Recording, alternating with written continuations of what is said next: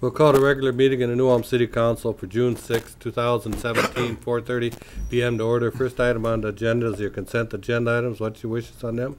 I'll offer a motion to approve those. Second. We got a motion and a second to approve the consent agenda items. Any discussion on any? Just a com, one comment, Mr. President. I know our city manager's finished up his one year as president of the Minnesota City County Managers Association. Was that three, four hundred members, Brian? Yeah, about two hundred and twenty-five. Two twenty-five? So thank you for your, your time on that. Mm. Those, anytime you become president of those associations, their work, I know that, so, thank you. Any other discussion? Seeing none, all in favor say aye. Aye. Aye. Opposed, no. Motion carries. Item two A, consider motion approving the fireworks license for the American Promotional Events Incorporated, TNT Fireworks Incorporated. I'll offer the motion. Second. We got a motion and a second. Any discussion? Seeing none, all in favor say aye. Aye. Aye. Opposed, no. Motion carries. Item two B, consider motion approving the issuance of temporary on-sale liquor permit for Cypher Benji, permit, can't even say it, Bianchi, American Legion Post one thirty-two. I'll offer that motion. Second. We got a motion to second. Any discussion? It's for an event at Riverside Park, um, July um, 3. July third. No more discussion? All in favor, say aye.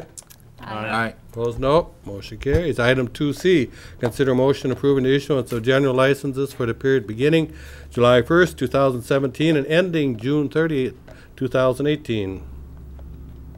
That's for tobacco, fireworks, kennels, mechanical amusement, sheep, solid waste hauler, taxi cab, and tree service. I'll offer the motion. Second. We got a motion to second. Any more discussion? Seeing none. All in favor, say aye. Aye. Opposed, no. Motion carries. Item two A, number one, consider resolution approving with one condition, a request from Leon Crow for a simple lot division of the property located at 310 20th North Street. I'd just like to add, the, the planning commission met, uh, we recommended approval, um, with conditions, uh, for, and the condition was to plot it with the Brown County Recorder. With that, I'll offer the resolution, waive the reading, approving uh, with the one condition um, as stated on here. Second. We got a motion and a second to offer the resolution, waived reading. Any more discussion? Seeing none, Finance Director, please call the roll. Counselor Fisher? Yes. Counselor Mack? Yes. Counselor Schultz? Yes. Counselor Christian? Yes. President Schmitz? Yes, motion carries. Item three A, number two, consider resolution approving the application for Shade Schmidt requesting a conditional use permit to place a special purpose fence on the property located at six twenty-six South Franklin Street. And again, the planning commission recommended approval. The fence was actually put up before, and it was caught, you know, after it was put up, and we looked at it, but if you look at your packet, you'll see that the topography of the lot, it's a lower sunk lot, and we, we recommended you know, unanimously approving it. Uh, yeah. With the planning commission's unanimous recommendation, I'll motion to offer resolution, waive the reading, approving with the conditions. Second. We got a motion and a second to offer the resolution, the reading. Any more discussion? So this was a fence that was put up after, pr- put up, and then there was a, um, an application, so, s- Correct, because he wasn't. so there's no penalty for that, there's no, you can just do, ask for permission later.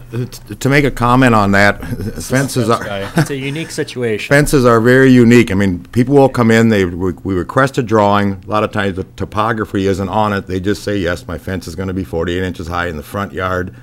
Building official issues, the permit goes out, and the yard goes at a forty-five degree angle. It's situations like that, and when I drove by, that there's this, I know we've issued these before with topography issues, granted, You know, it, it does meet the requirements for the front yard, for the height, if you're at the sidewalk level. You know, the way our Right. ordinance explains I mean, it. The city does have a policy in effect, if somebody does start a project, you can charge them double. You're not a popular department anyway, so normally we didn't charge them double. That's, you know, a- and, you know, the homeowner's trying to improve his property and it's, it's on a corner lot and he's trying to pick a patio area and privacy, you know, to enhance it, so. we Just, felt- a- just curious. Mm-hmm. Thank you. Any more discussion? Seeing none. Do we have a resolution? Yep. Yes. Okay. No more discussion? Finance Director, please call the roll. Counselor Fisher? Yes. Counselor Mack? Yes. Counselor Schultz? Yes. Counselor Christian? Yes. President Schmitz? Yes, motion carries. Item three B, number one, consider a variance request of the First Choice Pregnancy Services to place a ten-foot by ten-foot storage shed three feet from the side property line at twelve twenty-three South Broadway.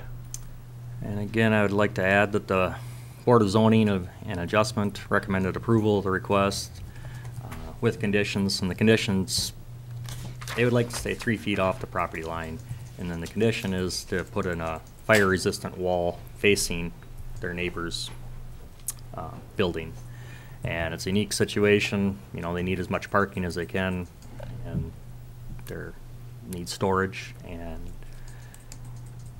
it's what don't see that condition added on part of our, it just get missed in our report? Uh, it should be Oh, line There it is, I'm sorry. two, I'm sorry, it is there, item two. and they were aware of it, and the neighbors were okay with it also. So no complaints by the neighbors or anything? No. anything? Okay. I'm gonna offer the motion, or to accept the variance request. Second. We got a motion and a second to accept the request. Any more discussion? This is at twelve twenty-three South Broadway, and a ten by ten storage shed. It is with condition, with conditions. With conditions, excuse me, yes. Thank you. No more discussion? All in favor, say aye. Aye. Aye. Opposed, no. Motion carries. Item two B, number two, consider an application of Christopher Schrader requesting a variance from the city code to allow a storage shed addition to be located within six feet of the rear side of property line at twenty-one Camel's Back Road. I think, Charlie, that was six, six inches. Inches. You said Six inches, sorry, Yes. not six feet. And again, the Board of Zoning Adjustment recommended approval of the request. If you look previously in 1980, there was a variance to grant it uh, um, previously. And the shed, he wants to add an, uh, an addition onto the shed for storage reasons. It's not going to come out past the front of the existing home. There were no complaints from any of the neighbors. Um, The alley is vacated and it's a unique situation. Again, um, I don't know, we don't have too many of these six inches next to a property line. I, no, but the nearest Have any? building is seventy-five feet away from it too, from the neighbors, for the backyard, for the fence on that aspect. That's, uh, know, they run a daycare and they've got a lot of Lot of stuff. bicycles and trikes and bouncy things and it's, uh, special need, you know, circumstances. With that, I'm going to offer the motion to accept the variance application. Second. We got a motion and a second. Any more discussion? Seeing none? All in favor, say aye. Aye. Opposed, no. Carries. Item four A, consider a motion to receive a survey information from HANU regarding the potential use of the rectangular rapid flashing beacon on Fourth South and Broadway. Cindy?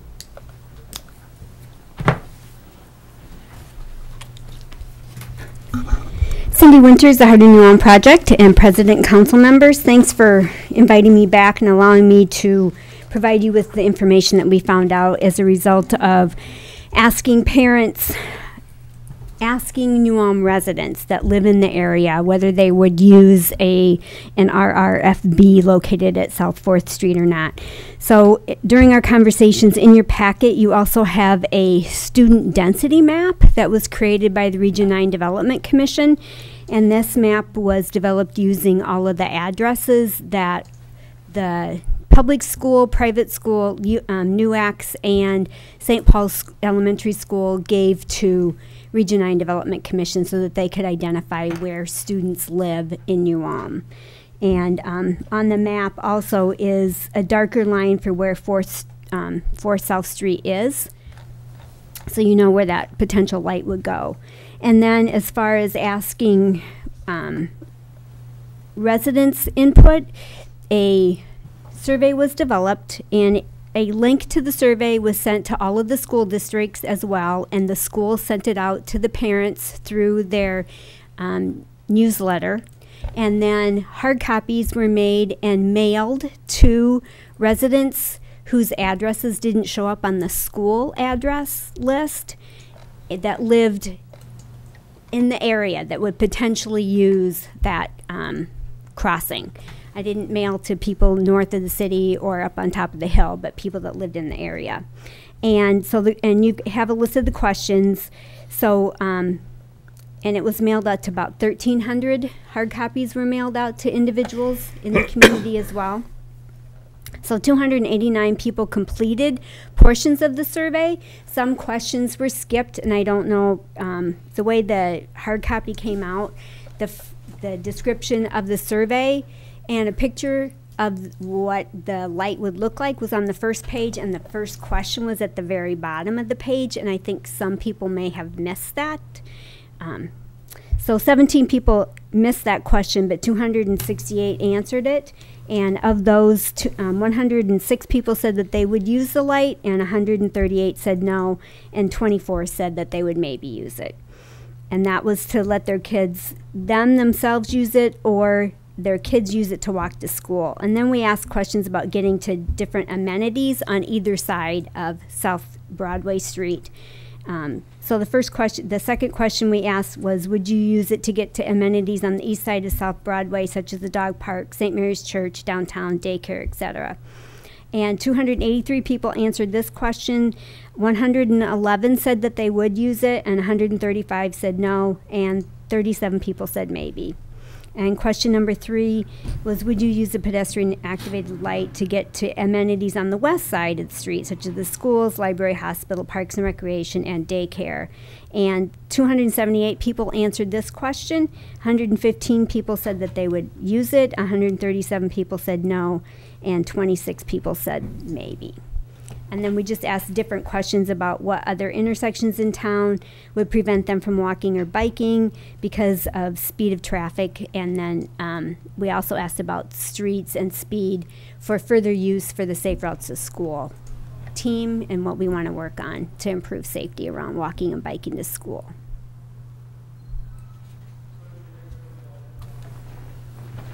Anybody have any questions for Cindy?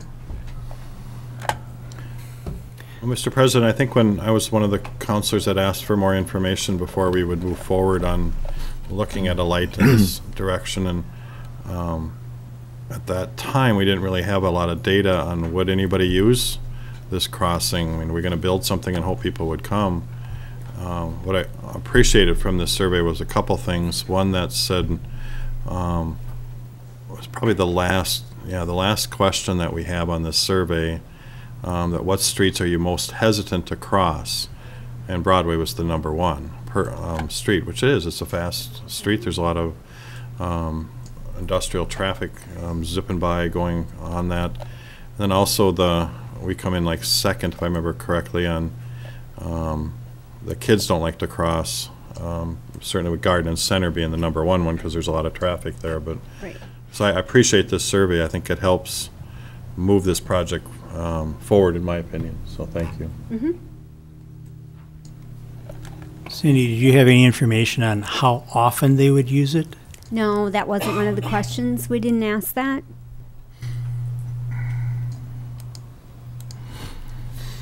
I did, you know, I had a number of people that couldn't talk to me afterwards, and people that jog, people that run, people that bike, that want to cross in that, in that general area. Um, And they said, you want an opinion? I would like a safe crossing there, so whether it's adult, not just for kids, but also for adults that want to cross in that area as well. And then with the addition of the dog park being in that area, um, along with the other parks, um, you know, we got the skate park and the, um, the BMX park down in that general region and general area that um, we have little folks who running across that street that would certainly make that a little safer in that direction as well, too. So, um, so I'm going to offer a motion to um, receive the survey information regarding potential use of the rectangular flashing beacon on Broadway and South Fourth Street. Second. We got a motion and a second. Any more discussion? And going back when we were looking at this, this was for five years down the road, wasn't Mm-hmm. it? I think it was 2021, so. Yeah, something 2021, like yeah. that, You know, so. Just kind of. So we're not making a decision today, we're just No. approving, we're just or receiving the report receiving survey. the report, you know. I think that's step one of their process that they need to move forward on. So, Okay, any more discussion? Seeing none? All in favor, say aye. Aye. Opposed, no. Motion carries. Thank you, Cindy. Mm-hmm. Item 4B, consider resolution approving the installation of a bicycle-friendly signage at eight ro- roadway entrances to the city, subject to authorization of the roadway authori- authorities. Cindy? So Cindy Winters, Heart of New Ulm Project. Um, I was asked to, to ask the city council's permission to, to purchase, um, the bicycle-friendly designation signs, and the signs, uh, don't designate what level you're at, so that they can be used if a community continues to move up or stays at a level. The signs are good for four years, and there are currently eight entrances into the community, and it would be, um, really help promote the community and help, I think, tourism as well to promote that we are a bicycle friendly community and have made some efforts to improve bicycling. And bicycling um, tourism is a huge industry in the state of Minnesota. You have the map there, do you want to put that on the overhead so the public can see where they're loo- looking at proposing? This oh. map printed out much larger than what, so it's all the.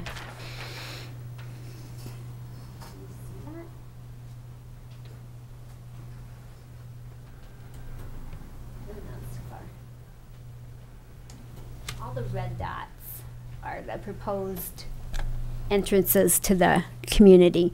And the state highway, um, the trunk highways, there is a, there is a limit that you can only have three signs on your, on those entrance signs, and right now there's currently only two signs on there. I went and took a picture of all of them.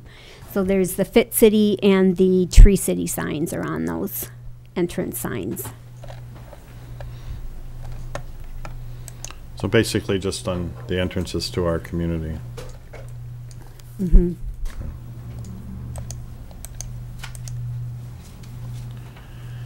So with that, I'll offer a resolution approving installation of bike-friendly signage at eight roadway entrances to the city, uh, subject to authorization from roadway authorities.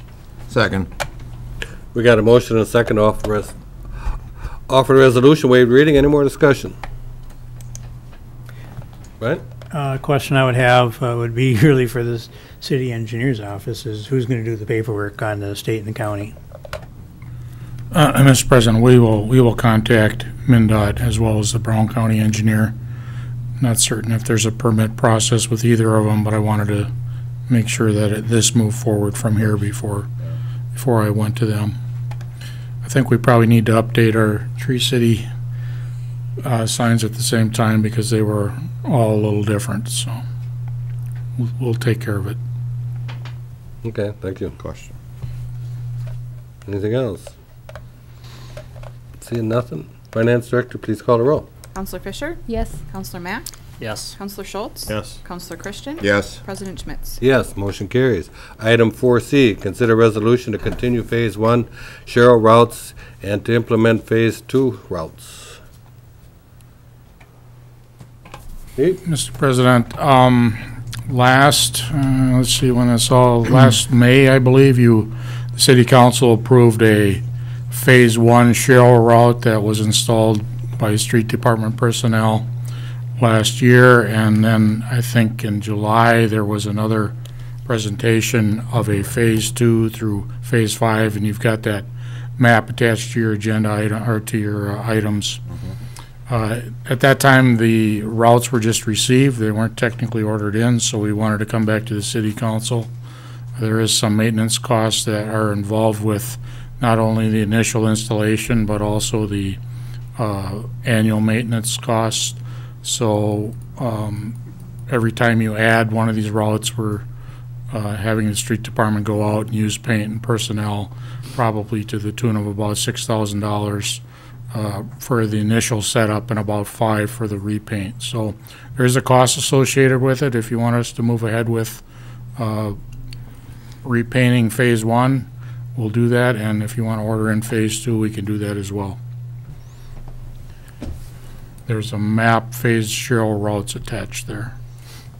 Since we have Mr. Curry here, could I ask him a couple questions on, because last year was new, we weren't, we're just going into this, and I'd like to hear how all that went, and problems or no problems, or can you kind of give us your input?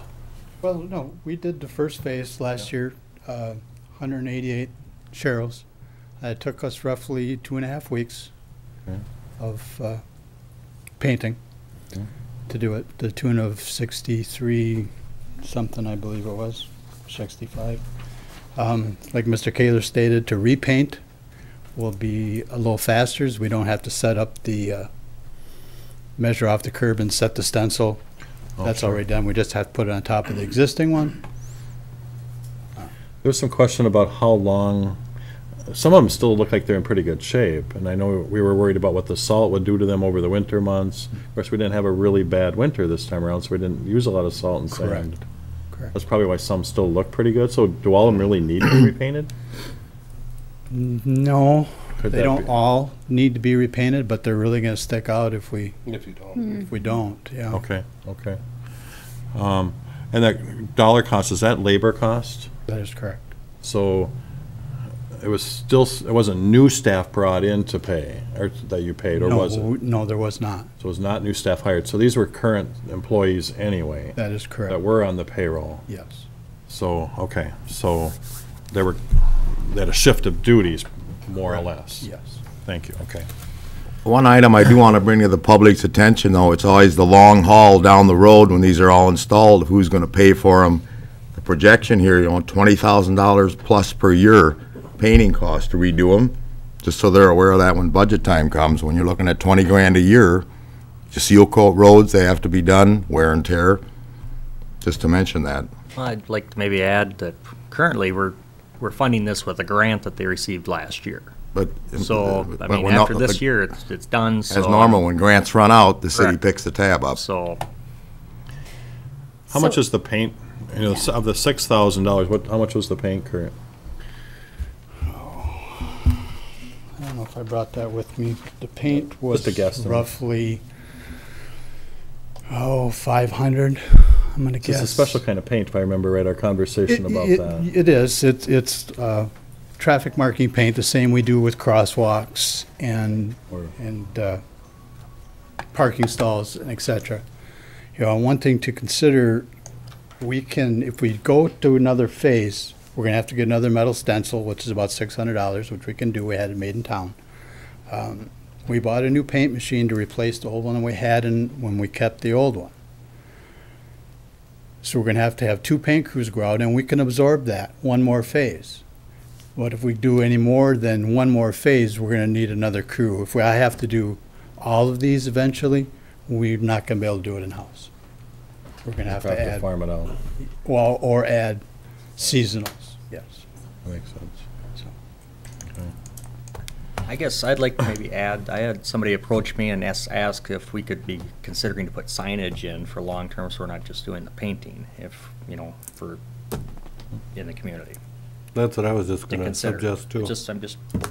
because they would last a heck of a lot longer if we put a And then we're sign not up. spending twenty thousand dollars, you know, there's. Can we have that? Signage per. Was that a purchase, discussion, Ms. but- Winters, when we talked about that last year? Do you remember our, why we didn't go that route, or? I know there was discussion in that area. Cindy Winters, Heart of New Ulm Project. Part of what Sharrows do is they also indicate where you're supposed to be riding in the in on the street, like what direction. Because I have seen people riding in town against traffic, um, even on a street that has Sharrows. So we do, we do have a lot of education yet to do, and that's in the plan for the Hardin for the um, Safe Routes to School program. And it also lets the the rider know when they're riding on a street that has parking, which almost all these streets have parking along them, where to ride if there's a car parked along the street to stay out of the door zone, so they don't get doored. Because you can have um, some really severe injuries if you're riding and not paying close attention to whether someone's in the car and getting and getting out of the car. Um, so and it's also kind of more of a visual cue to the driver for them to slow down and expect. I know you expect to see um, bicyclists around along that route. You would see that with the sign, but it's because you don't see a lot of markings on the street. It's more of a visual than a signage because signage can sometimes get lost with all the other signs that are out there. Got a question. You, are the people on bicycles supposed to drive right where the markings are? the They sharrow? can, they don't have to, but if there is a car parked, then they should ride with those along those sharrows. I'm just gonna make side. a statement. Okay. And it was shortly after we painted the first ones. I was going down Garden Street, and for three blocks, there was this senior citizen ahead of me, and he was going on the sharrow, and there was no one car on the outside. There was Okay. four cars behind me, cars coming, and you think he'd move over? No. We need education. Well, and, yeah. I'll yes, tell you the that- truth. The mm-hmm. young people that we worry about getting in accidents, they're the most courteous drivers there are. It's the people my age and above that are the worst in this town. It's terrible. Yeah, we are, we do have a plan to do some education this fall. What, uh, I know we mentioned this grant, um, a two-year grant, is that renewable? Is that, is that a potential renewable? For the, oh, that you received from the Heart of New Ulm Project. So that was part of the Lose It to Win It campaign, and that's with the community funds that were raised. So we will not have another campaign like that to raise, to put towards them. Okay, just curious. Yep. So we should take advantage of what we got, at least in the interim, so. I'm gonna offer the resolution waive the reading to continue the Phase One sharrow um, routes and implement Phase Two. Second. We got a motion and a second to approve phase two. Any more discussion? And I think just down the road, as, as some of the counselors mentioned, to look at, you know, what finan what fiscal impact will this be in year three and four when, if we don't have any reimbursement, so are there some other options, are there some fundraising opportunities from the bicycler folks in town, and take a I'd look like at that. maybe know what other communities are doing, if they're doing sharrows throughout their community also, or. Oh, there's a lot of metro count, metro areas that are Or metro, all but- sharrows. You know, Yeah, I don't know. or if more we're- rural, uh, Yep. it's just like, Yep. A little bit. We have a motion and a second to offer resolution, waived reading. Any more discussion? Seeing none, Finance Director, please call the roll. Counselor Fisher? Yes. Counselor Mack? yes. Counselor Schultz? Yes. Counselor Christian? Yes. President Schmitz? Yes, motion carries. Item 4D, consider a request from William Swan on behalf of Milk Associ- Associated Milk Producers Incorporated to amend the resolution number 0302 authorizing the vacation of the Tea Alley in Block 20 north of Center Street. Ryan? Well, if you look at the information presented to you, you'll note that uh, a vacation had been approved uh, earlier with conditions. Those uh, conditions were not completed, therefore the vacation didn't go through. I was contacted by uh, Mr. Swan uh, on behalf of AMPI asking if, if and what they need to do in order to see that vacation through. Uh, that was passed along to the community development director, and this is the results.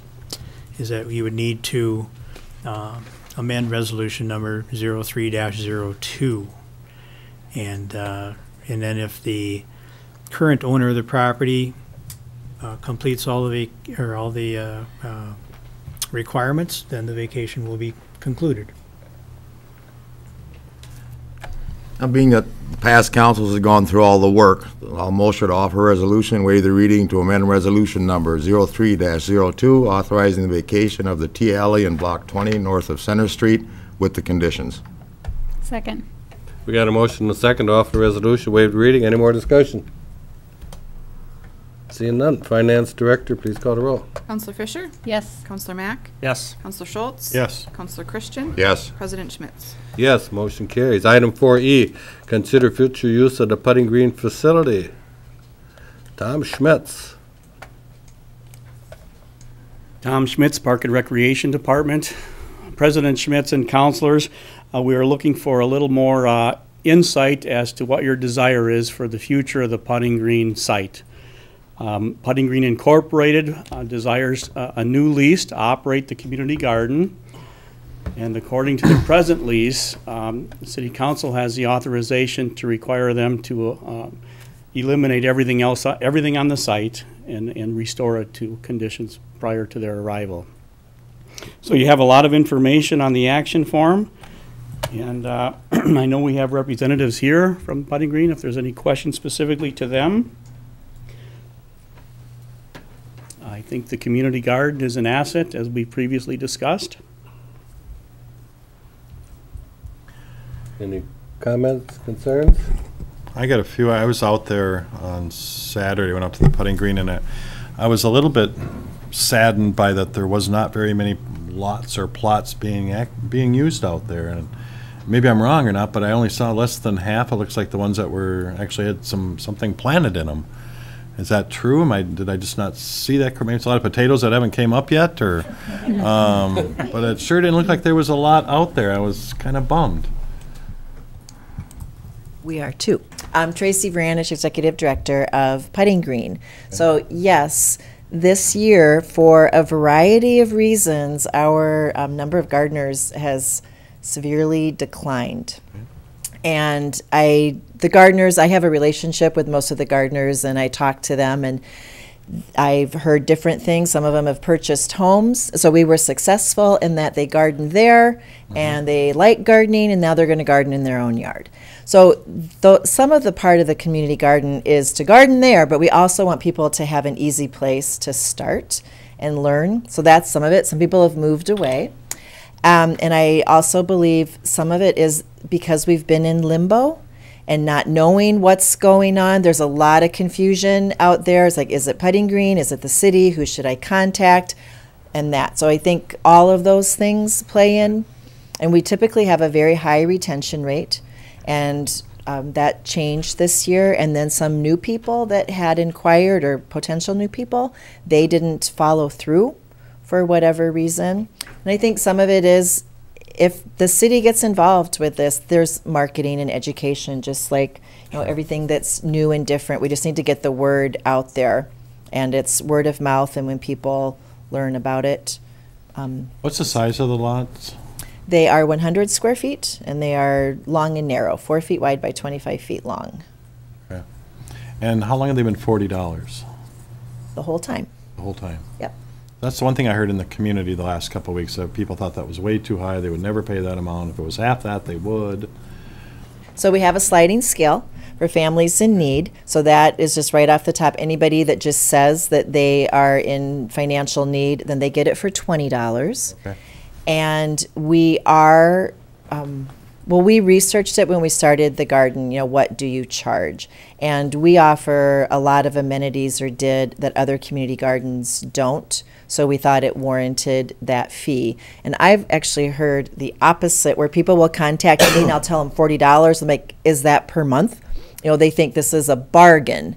Okay. Um, to be able to have that and have water and the tools and everything right there. Um, so it, and you can grow easily well over forty dollars worth of food on your plot. Sure. Okay. So, but that's good feedback to hear, to know. Yeah, I, I, I was, the other thing that kind of amazed me, having not being out there for quite a while, is that that's a lot of property out there. Um, and I'm like, we got a housing issue going on. And my brain started going in a little bit. I don't know what it's zoned out there, but I was just like, could part of that be looked at for housing? I don't know. I mean, I just, something to think about. The housing study I know is out, but I haven't even had a chance to look at it, so it just came out today. But, um, I, I don't think I'm ready to decide any of this today. I just think we're, I was, uh, I just think this is a very important decision. It's an entrance to our community. I'd like to, people said it'd be nice to have a great-looking park there as, uh, for children, or a small putting green, um, a different style of putting green for kids. Um, I've heard that it'd be a nice area for um, a river entrance and something to do with our river. Um, So I just hope that we take our time and do this right, whatever that is. And I don't know if we're ready for that tonight. Mr. President, City Council members, I think we have to make one decision, and, and that is that, uh, whether or not the putting green is gonna have a lease for that space. I mean, we have to decide. So there's no confusion in the community, and putting green can either, you know, tell people they're up and running or whatever. Uh, The options or proposed actions that were put before you, um, you know, ordering putting green to remove everything, ordering putting green only to remove certain things, uh, leave the mini golf course intact, Park and Rec can just clean it up, leave the mini golf course intact, and Park and Rec will refurbish it entirely. I mean, those were the options that we kind of came up with. Those, I think, at this point in time, uh, can be deferred, you know, to a point when you guys feel comfortable. Maybe you want to budget for it in 2018 for removal. Right. Maybe you want to budget for it for refurbishment. That's up to you. Uh, the lease, uh, because it's now past June 1, you probably want to have a have a lease so that they can operate. So that's one thing. Uh, and then whether or not you want to direct the uh, uh, Park and Rec director to work on the farmer's market thing. Is that a good site? I don't know.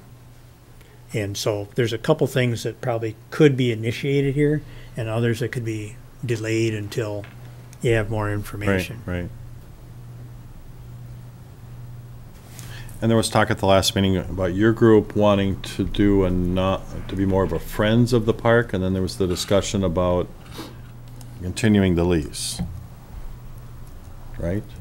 Correct. So we, after meeting um, with Mr. Schmitz out there and looking at the community garden, Putting Green felt it was in the best interest of Putting Green and our gardeners and the city if we did lease that parcel. And that way, we have the liability insurance on it, we have the maintenance, and we can keep it with the feel that is um, typical of a community garden. So if the city takes it on, um, some of the things we discussed, the wheelbarrows that we have, well, they're not commercial grade, and the fencing, you know, isn't that. And if you go any place else and you know, look at these community gardens that are sponsored by the city, there's one um, by where I live now, St. Paul Maplewood. It's very grassroots, and they have um, rusty wheelbarrows and they have fencings and other. That's just how community gardens operate. Right. And if we try to get it so sterile and so regulated, I think we're going to lose some of that. So that's why the Putting Green Board um, decided we would prefer to keep that under our responsibility and be able to um, continue the garden in that grassroots sort of way. A comment I want to bring out is I attended the Park and Rec Commission meeting when the the Putting Green representatives were there. The- The Park and Rec, I mean, they were also in favor of let the Putting Green Incorporated continue to do that aspect of it, the community gardens. I mean, that, we definitely have to have that tonight, correct? I mean, we should, Should. if we're mm-hmm. going to lease it to them, the city attorney should draft it, get that done. I mean, I won't make that motion until we're done discussing everything else. I agree with that. I agree that um, that lease should be drawn up and that we should commu- keep the community gardens Oh, yeah, yeah, absolutely. intact. Is there, you know, since we don't, we're already at, at probably mid, coming up on mid-June here, well, not a lot of planting time left, can, with some publicity, could you still get some of these plots filled? That's- You could, but it is Pretty late. late. And then it gets frustrating because then the frost comes and we don't like to have frustrated gardeners. So if you get going too late, and we have, so Heart of New Ulm put it on their Facebook page, I Okay. think, and then, Could you do half price now and get a few people in there? well, there you go. What Maybe a two for one deal, that's what I like to see. what if you got donated seeds and did some stuff for the food shelf? So we do still have the four food shelf plots, so that's a part of it, and that's been a part of it. And then we also encourage our gardeners, some of them are very successful, and if they have excess produce, to also donate it to the food shelf. So when you think of the community garden and you think of the food shelf, we want people that visit the food ah. shelf to have healthy produce. Yes. And people in New Ulm, it's pretty cool, if you ever go there on distribution day at the food shelf, a lot of people donate fresh produce. And the people that visit really appreciate getting the tomatoes and potatoes and all of that and not all the canned and processed food. So that's a good relationship that we are maintaining. So can I put in a little plug for the farmer's market part? Sure. Is that appropriate? Um, so Farmers Market, Heart of New Ulm, worked on that when they first got going and had a lot of people come and speak to that. And I was one of the people, I was involved with it because Putting Green at that time, we were doing a commercial garden. Farmers markets, you kind of want your farmers market to be event and fun. You want families there. And so I can really imagine putting the farmers market in that location. You're out in nature, and if you have mini golf and the families come, there would be a place for music. They could go down on the river. You've spoken to Jim Bartles, I believe, at KNUJ, and they would be open to that because they've been shuffling around and there's quite a bit of space out there that it would be a great use of that property. So I hope that that can continue to be explored. So if we Yes, I got a allocate, question.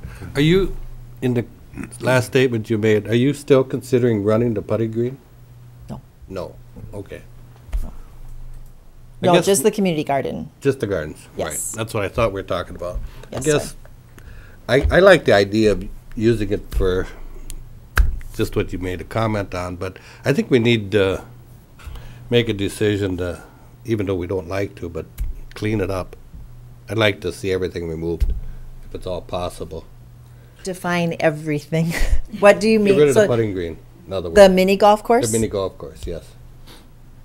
Mr. Because President? it's getting to be an eyesore, in my opinion. but there are some things in there that they could use. There's a, b- several buildings in there Oh, that I'm yes. sure the, would want to use, so it's like, what part do we keep and what part do we get rid of? And if we would decide, oh yeah, maybe we do want a miniature mini golf of a recreational sort, well, there's some things there where they could use without tossing them.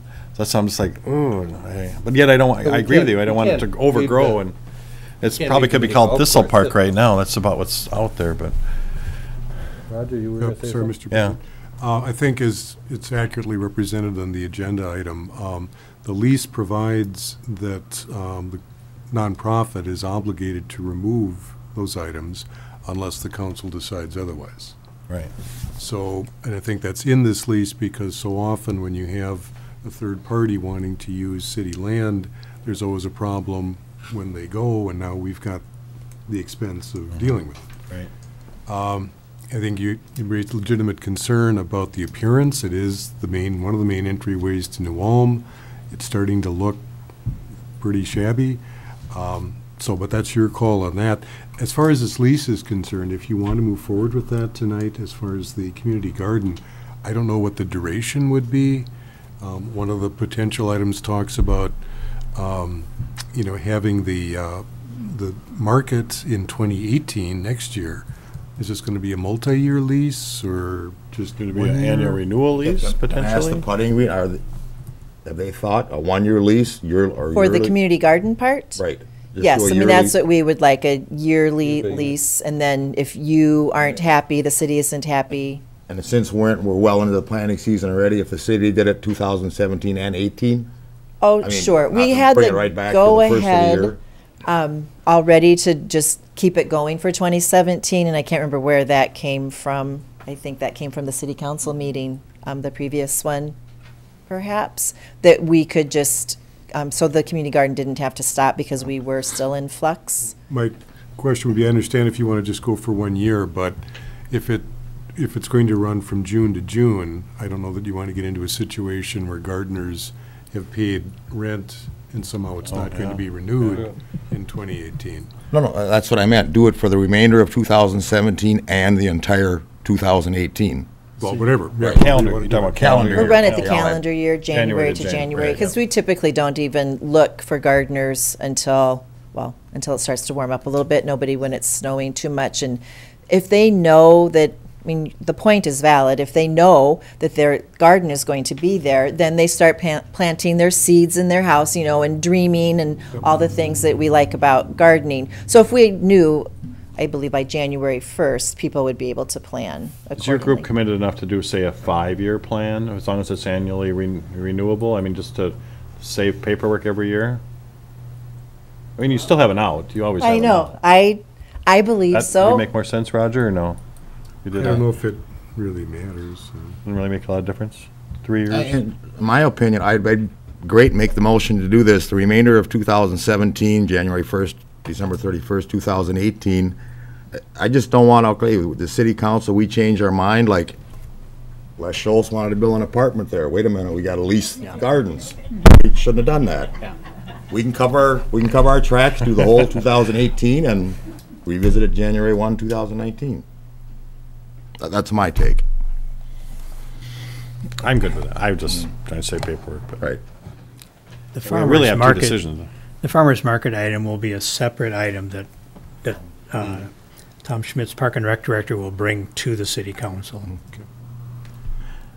With that being said, just to get one item off the agenda, I mean, it is a separate one, I'm gonna direct, uh, move to direct the city attorney to draft a lease agreement authorizing Putting Green Incorporated to continue operating and maintaining the community garden under the Park and Recreation Department, and authorize the city manager to sign the lease for the remainder of the 2017 year, and then January 1, 2018 to December 31st, 2018. I'll second that. We got a motion and a second. Any more discussion on that? The only question I have is what I heard Putting Green say is that they're gonna be a separate entity. You're gonna have your own liability insurance, you're gonna do everything on your own, and you're not necessarily gonna be under Park and Rec. That's the way we envision you it back to envision it. that That- whole wheelbarrow Yep. deal if we are under them. And we are still an entity. So Putting Green, Yes. Putting Right. Green Inc., 501c3, we continue to exist. So we would sign the lease But at and the then we last- would have the At liability the insurance. last meeting, I remember somebody saying, uh, we don't want to, the liability insurance, we want to be underneath the city. The motion was prepared to be under the city. So if you want to strike under the Park and Rec Department. Okay, Department, I'll Then- amend that then they're a excluding the Park and standalone Rec entity. Department and strictly the Putting Green Incorporated. Yep, that's fine. that's just the Putting Green leasing land from the city. And the Park and Rec doesn't have any uh, interest in, in it, other than supporting it morally. Correct, for the garden itself. Correct. Did you get that? Okay, any more discussion? Everybody understand that one? All right, all in favor, say aye. Aye. Opposed, no. Motion carries. Okay, back to Roger. What about, what are we gonna do far as, uh, since it's coming back, did it, we're gonna require them to clean up? That's, the lease says that they're obligated to do it unless the city decides to handle it differently, meaning city bears part of all the cost. So we don't have to do nothing? We just, If, if at some point the city believes that it's becoming unsightly, it's not being maintained, or you want things down, they would have to be notified of their obligation to do that. but they don't have a lease anymore. No, but they've got a lease that requires them to remove their property Right. at the end of that lease. They've terminated a lease, and it says that, get your stuff out of there, so that we can use it the way we want to. But I understand that there may be part or all of it that the city wants I to don't know. keep. And at some point, um, if it's not maintained, either we're gonna be paying city employees to maintain it with everything that's there for all those structures, I don't wanna or go not. there. Yeah, so. That, that's what I'm trying to avoid. I think the longer, the longer you wait to clean it up, Probably. the greater the potential for putting green to disappear, Right. and any resources they currently have at this point in time will be gone. Right, Correct. that's what That's a I, very valid point. Uh-huh. that's what I was gonna ask, is how long do we have to make that decision until they're not obligated anymore to, to do Right. it? Well, there really isn't a time limit on it, but I think Brian's Right. got the most realistic point, Yeah. which is if there's nobody there, this is a corporation. Mm-hmm. And if there's nobody actively mm-hmm. willing to do what the corporation is supposed to do, it falls back on us by default. And uh. then by doing so, we're liable if it falls in more disrepair and somebody gets hurt on the property. Sure, or if you start having people vandalizing it or, you know, whatever, misusing the property, so. Uh, one question I do have for the Park and Rec Director, Tom, the- the first, uh, under the budget and fiscal issues, you know, we've got one local estimate for complete demolition, removal and restoration of the mini golf course ranges from forty to fifty-five thousand. Okay? We did not get a, a, a bid just to demo it? I don't see that on here, 'cause it says restoration of the mini golf course. Restoration was included with a demo bid, so we didn't get just a bid to flatten it out. Uh, President Schmitz councilors, Councilor Christian, my understanding is that the lower uh, cost bid uh, was basically just to remove the structures above ground, leaving the uh, concrete foundations for the golf course. And the higher bid was to pu- pull out the f- concrete foundations and restore with black dirt and, and seed. Okay. Now, I'd like to also point out a few other components to think about here. We've got the mini golf course itself. We have the vegetation out there as a second item, the clubhouse, and the ge- geodesic dome. Having reviewed the site a number of times, I see no use for the clubhouse or the geodesic dome. And I think there may be an opportunity to uh, modify the landscaping or uh, do a little bit of trimming, so to speak, and pruning to further expose the mini golf course for you to make a decision whether or not you want to um, have that mini golf course maintained or eliminated. So a few more things I'd like to point out. I might recommend that, that at this point, maybe you uh, direct Putting Green Incorporated to remove the clubhouse, the dome, and uh, maybe someone work on the, the landscaping and the vegetation. to- to- Well, I- Mr. President, I don't know if, you know, I don't know if Putting Green is prepared to do that, do anything to remove this. I think you'd probably get some, if they're gonna hire this out, you get some mobilization expenses if they're gonna do it piecemeal to take out the shed and the dome. Or try and sell it. And, and then, you know, leave other stuff, and then are they gonna be obligated to come back and remove the uh, golf course if we don't want that? You know, I can see reasons why either remove it, clean it up, or not, if you want to keep all your options open. Well, what I'm reading here is, we're assuming we're getting hung with it, and I don't like that idea. Well, that's why I ask. I don't know what they're prepared to do, if anything. But Maybe we should find out. So at this point, we've been waiting, kind of holding back, and we will be selling the things that the city has indicated they're not interested in. So the dome, the clubhouse, we have other items out there, and we plan on having an auction and sell the things that, like, we have a refrigerator and just a wide variety of things that we won't, we will no longer use. So we will be raising some funds that way. Um, we don't have, I mean, I'll just, maybe this will help. We don't have the funds. We don't have forty to fifty thousand dollars to do the demolition even as directed, if that's the way it goes. And I, oh, so the other thing when you talk about, so again, demolition, so we can picture the mini golf course, right, and the cement and that, but there are also things out there that could be utilized for uh, park or the farmer's market. So we have lighting. So there's lighting in the parking lot. There's the parking lot. And so when you say return it to the state that it was in or, you know, remove, well, okay, we're not obviously going to remove the, all the black dirt and that we put in the storm ponds that are have been installed at Putting Green's expense to clean the water before it goes into the river.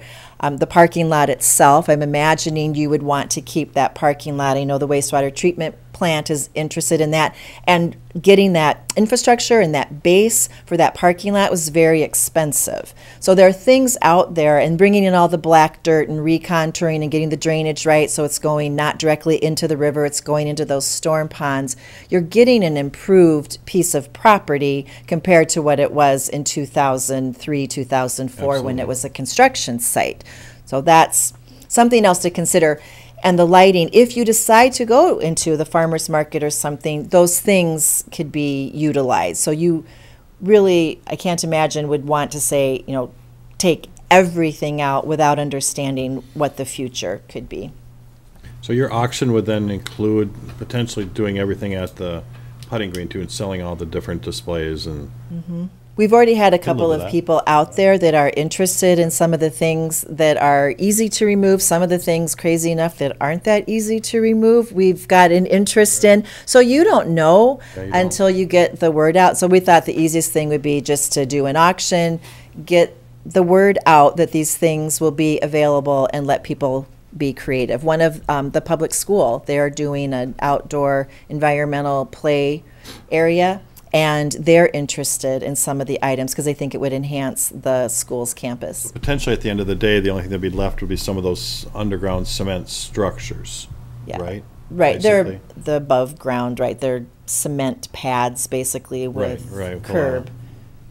And what? Mr. President? Yes. Well, Ms. Vranish, I'm still not sure what the answer is from the organization. If the council directed that anything was to be removed, I don't know if your answer is just no, we're not going to do it.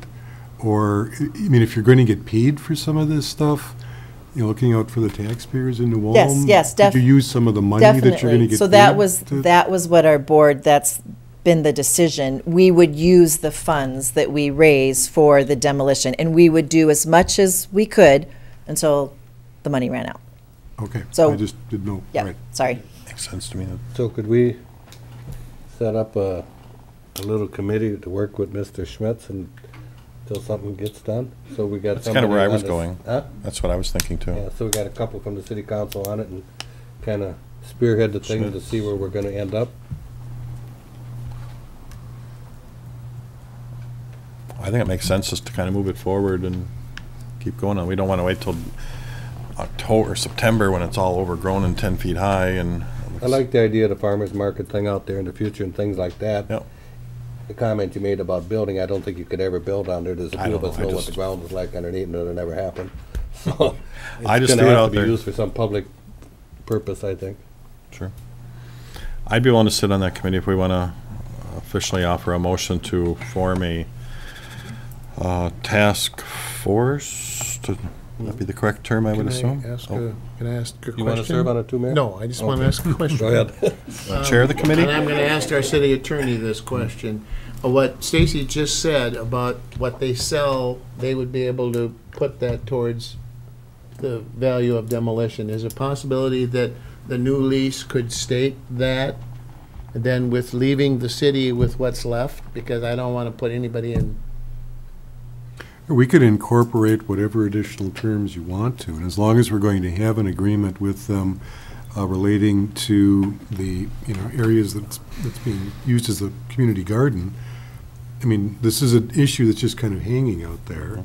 Um, If that much can be understood, we can incorporate that, but it sounds like the task force would then be working on deciding what particular buildings are staying or going. Mhm. And I understand it might take some time until you've liquidated and gotten paid for whatever you would be selling as well. It's not like it's one item and you got a buyer that's gonna close next week, so. My question for the putting green, if council goes this route where, okay, putting green is gonna liquidate all their assets, sell them off the property, what kind of time frame you looking to organize that?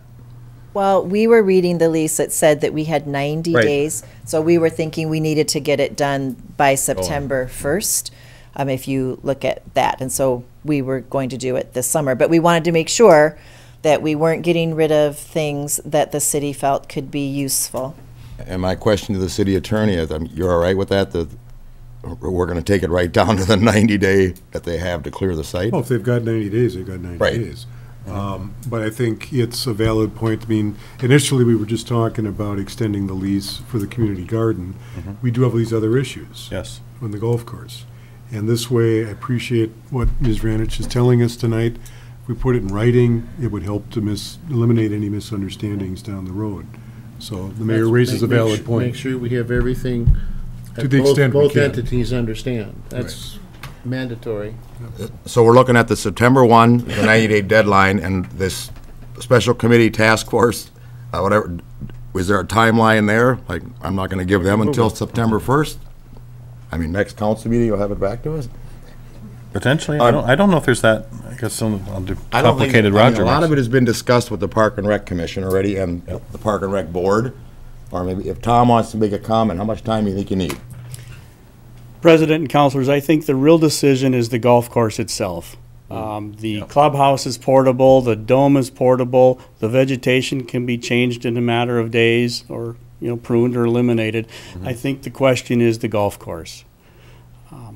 Again, though, if we say you'll have it back to us by the next council meeting, is two weeks enough time? Yes. I think so too. So if you're already on the Park and Rec, do you want to serve on that committee? I think His we're- ward. Well, I'll, I'll volunteer, but I'm just like, you're already on the. I don't have a problem Or you with and that. both, both of us, if you, we should probably have two. I I can go along, I'm already on the Park and Rec Board. Do Board. you I'm want to just- be on it? No, that's fine. That works. Want us two I'm to do trying to figure out how to make the motion to put that all into words.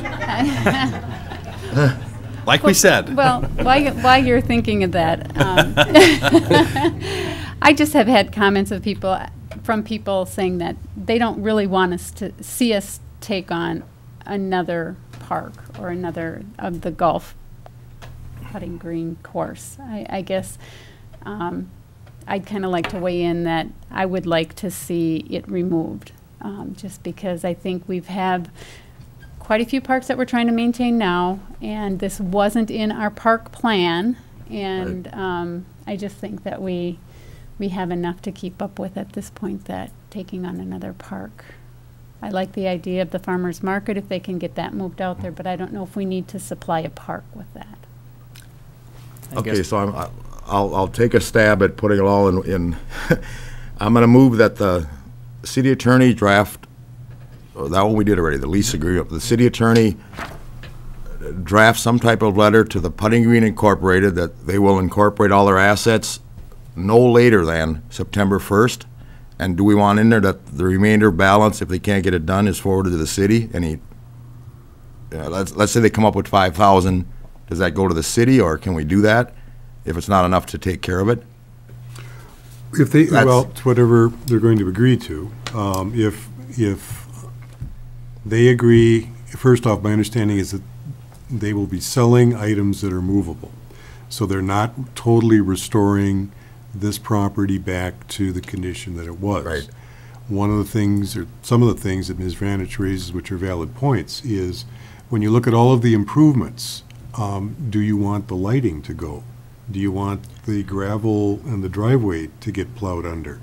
If you want to leave that intact, I think they need to know what they're supposed to do. Well, that's what I think the That's- committee but I should mean- really sit down and discuss. And see, and I, and I can't, Benefits us and what. maybe, doesn't. maybe what we should do Two is. motions instead? Yeah, maybe what we should do is, I mean, there's- it would be nice to incorporate this into the community garden agreement, but that needs to get put into place.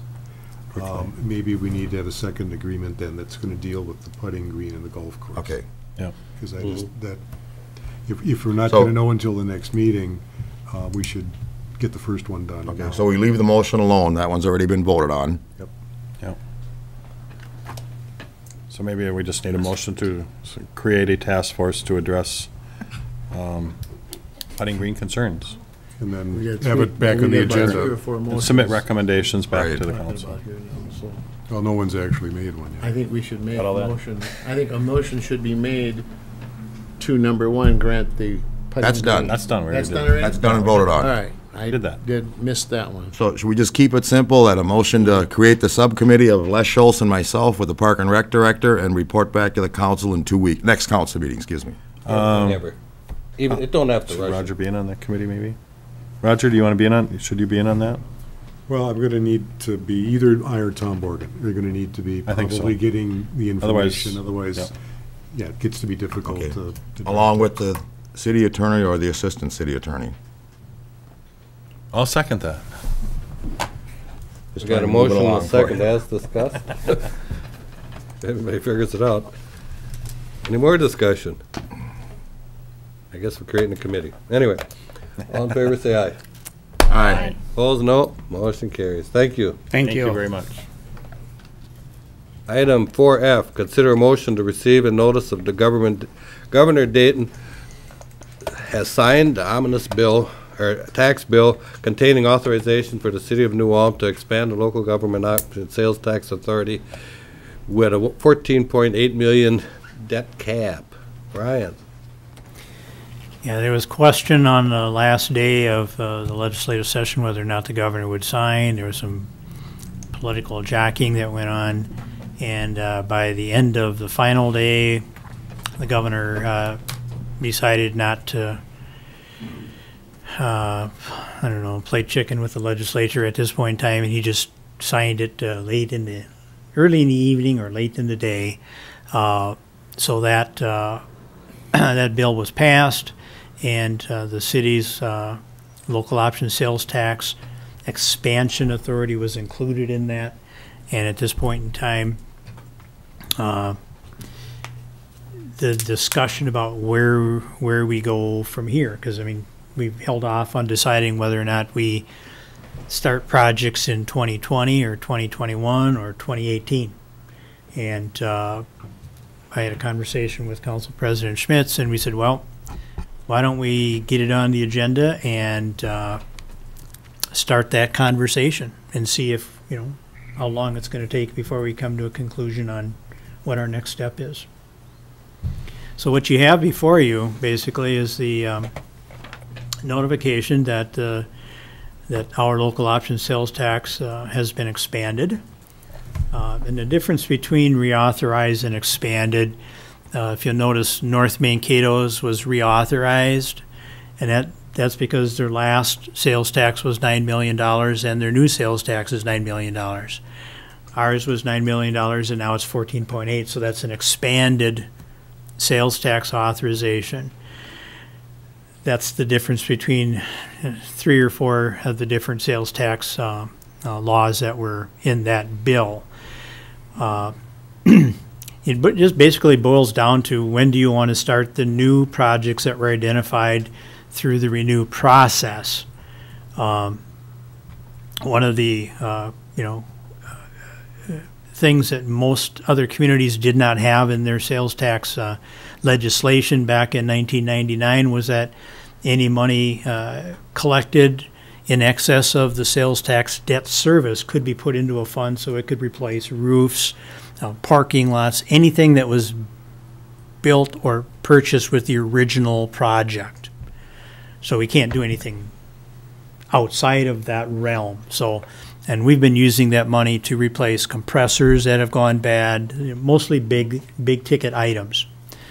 Um, or do you want to forego the last three years of that fund, which is about two million dollars, maybe two and a half million dollars, and and pay off that uh, debt and start the renew projects the, the that we had just gone through and identified in the in the legislation and get them going in 2018, 2019 or 2020 or whenever you want to start those. You can phase those in, you can kind of do whatever you want. Um, but I don't believe what you can do is take the uh, expansion sales tax revenue to pay the old debt. You know, you can't keep the old debt and collect that money to pay the old debt. You have to have the new debt and pay that money to the new debt. So there's no crossing over that. So it's either extend it out to 2020 or cut it short. And uh, the uh, Nicole here in in, uh, in finance put together, you know, just a little spreadsheet. We can just kind of take a look at that if you would, and that pretty well kind of just tells you with not a lot of certainty because we don't know if we're going to need to do the roof on a specific year or if we or if we have to uh, you know, you don't know the, know the life of many of these things. But on the left-hand side, you'll see it's uh, titled "If Bonds Are Called 12-1-2017." And the right-hand side is if original tax continues until 2020. On the left-hand column, you'll see we have a current balance of $4.2 million. We've got some things uh, that are ordered and, and going to use some of that funds. You've got the revenue stream coming in. So on December first of twenty seventeen, you still end up with about four point two seven uh, million dollars. Uh, if you were to pay the debt on December first, which is two thousand, or two million thirty thousand dollars, uh, you got some revenue on interest, uh, sales tax receipts, and sales uh, tax received in twenty-eight. Uh, you end up with about two and a half million dollars in your fund. Then, if you look at 2018, 19, and 20, we plan to do the Civic Center roof, which is estimated to be about $800,000, which gets the fund down to $1.8 million. It's not going to grow anymore, except from minor interest if it sits there. Uh, the Civic Center roof is by far the biggest one, but the Community Center roof on the new section was also brand new and that's going to need replacing, you know, or in, you know, 20, 21, 22 years still also. And the field house roof, if I'm not mistaken, was was new also. So if you take those two things out, you end up in the hole about $878,000. If you continue to 2020 and those things happen, so apples and apples, uh, you collect all the revenue through the year 2020, uh, December of 2020. By the end of 2020, and you add in those other projects, which the ice refrigeration system is by far the largest item, 1.7 million dollars. And I don't know how long that's going to last. I just don't know. Uh, maybe it lasts 40 years. I just don't have a clue. Uh, the remaining balance is 2.4 million dollars, just under 2.4 million dollars, which then can be kept in that fund for 5, 10, 15 years to pay for more compressors and all the other stuff that uh, might go wrong in the next 5, 10, 15 years. Once that fund is depleted, it's on the tax roll. And I, you know, everybody understands that. So the difference between the two choices is you run out of the, you run out of your fund money, uh, you know, potentially 2020 to 2024, you know, potentially, I don't know. Uh, it's an assumption. Or you run out, you run out of it in 20 years from, you know, 20 years from now, depending on what happens. I don't know. So those are, those are the, are the two uh, ends of the spectrum that you have before you. Uh, You know, it always comes back to money, no matter what decision, you know, the council makes here, whether it's uh, sharrows at $20,000 a year to repaint or, or this particular fund, or when you start to new uh, renew projects, it boils down to what's the impact on, on the taxpayer. And one process impacts the taxpayer sooner than the other. And uh, the choice is up to the city council what they want to do. But I think that conversation needs to start and so we get a better understanding of what the, you know, what the reality is of what we're attempting to do. Because I think Park and Rec has gone on, uh, the Park and Rec Commission has gone on record as wanting to initiate the projects in 2018 as soon as possible. Uh, We're just pointing out that that's great, but there are financial implications to doing that. And we've had this discussion with Renew, you know, uh, two years ago of, of what the impacts of this could be. But now we have the decision. We, the, the authorization is there, and it's up to the city council when they want to initiate this, whether it's 2018 or 2019, that's close enough, or do you want to go to the final year 2020? So you have uh, on your issue sheet all the information uh, that kind of recaps what we've gone over. You know, it's a general review of the information, and it's here to kind of start the conversation.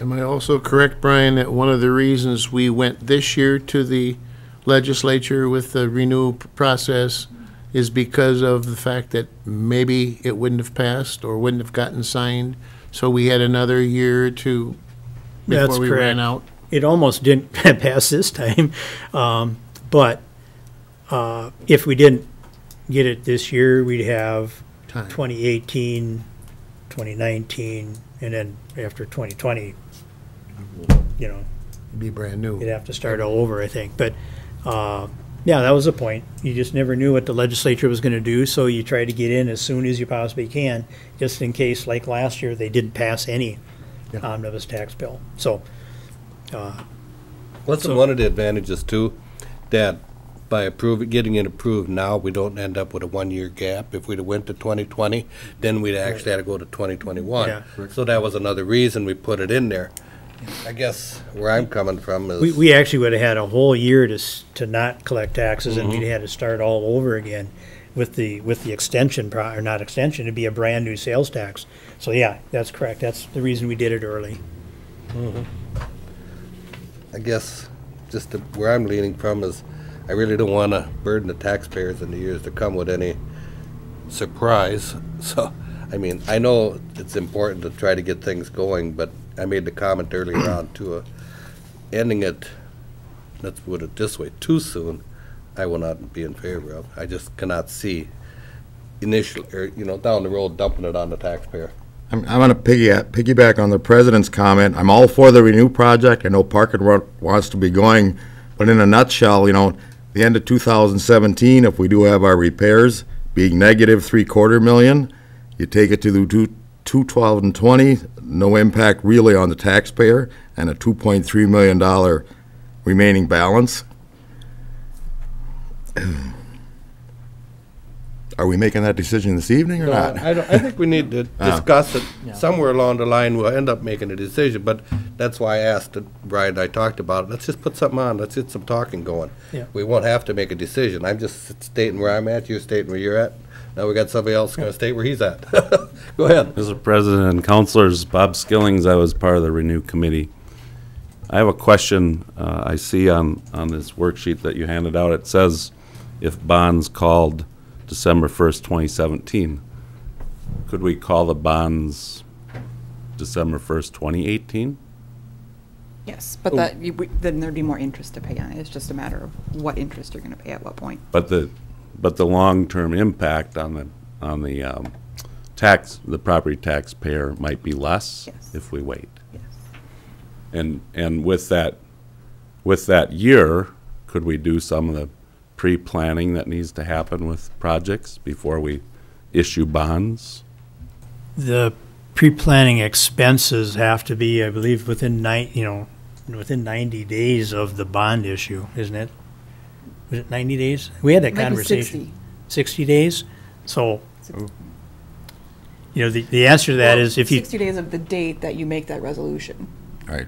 So we could make the resolution in April and it would go back to okay, January's expenses, or, not January, the two months.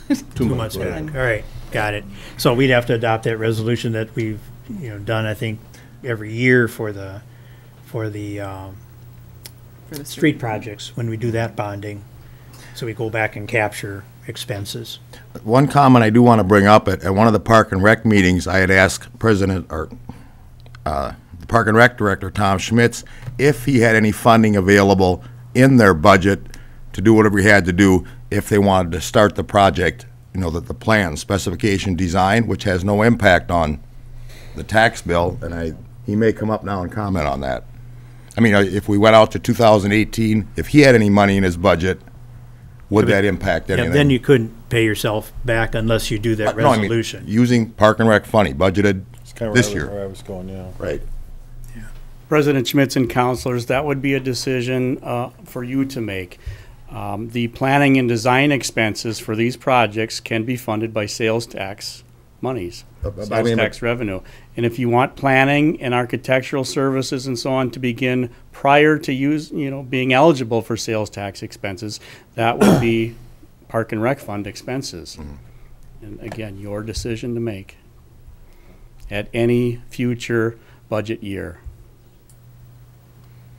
But, Mr. President, as I hear this, you can't use the funds from Park and Rec now and expect that you're gonna be reimbursing Oh, those a year and a half or two years from now. No. No, I understand. that I mean, money is but- gone if But we- what I'm getting at is if the Park and Rec Commission decides we're not gonna fix Harmon Park this year, we're gonna change our mind, that budget money's gonna go to the plans and specs for whatever is prioritized. Mm-hmm. That's what I'm getting at. Johnson, Fe- or Johnson Park. Let's say you choose to the Park and Rec Commission decides, no, we want to move forward, plans and specs for the Johnson Park. But this year's budgeted money is used, whatever jockeying he does or council permits him to do, to start their process, and not touching the sales tax issue. On the, you're, you're saying take it, that project would then be taken out of the, s- The sales city, tax. no, no. You, That you, project- okay, you would just do the preliminary and Right, then the use the preliminary. fee. I- if- You'd never get if- reimbursed for it, so. Right, if Park and Rec decides we're gonna spend fifty-five thousand this year to get those plans and specs started for the Johnson Park I'm gonna use, that's coming out of their budget this year. No, it will not be reimbursed, I understand it, but if they wanted to get their ball rolling, not lose an entire year, and I understand where they're at with the Mm-hmm. tournaments and whatnot Yeah. coming up at Johnson Park. It certainly is possible, but it's a city council decision, not a Park and Rec Commission decision. But what you're saying then, Dave, and on the other hand, though, is it, we would still have to end it soon. Oh, you're buying almost a year, Yeah. another year of sales tax collecting. But that's not really gonna put us in a good financial state, standing yet. I like the idea of having the two point four million dollars at the end in reserves. Anybody else? Well, right now is, I think we should talk about it a little bit and table it a little bit and But that's what it's know where about. we're at in a year yet and then bringing it back. You know, I served on the committee, we worked pretty hard on this and we were pushing for it. We were also looking that we could get lower interest rates if we started the construction process earlier and, and keep the costs, but, I like the idea about entertaining to start putting requests for proposals or designs out there, cause we don't know what And we have- prioritizing and.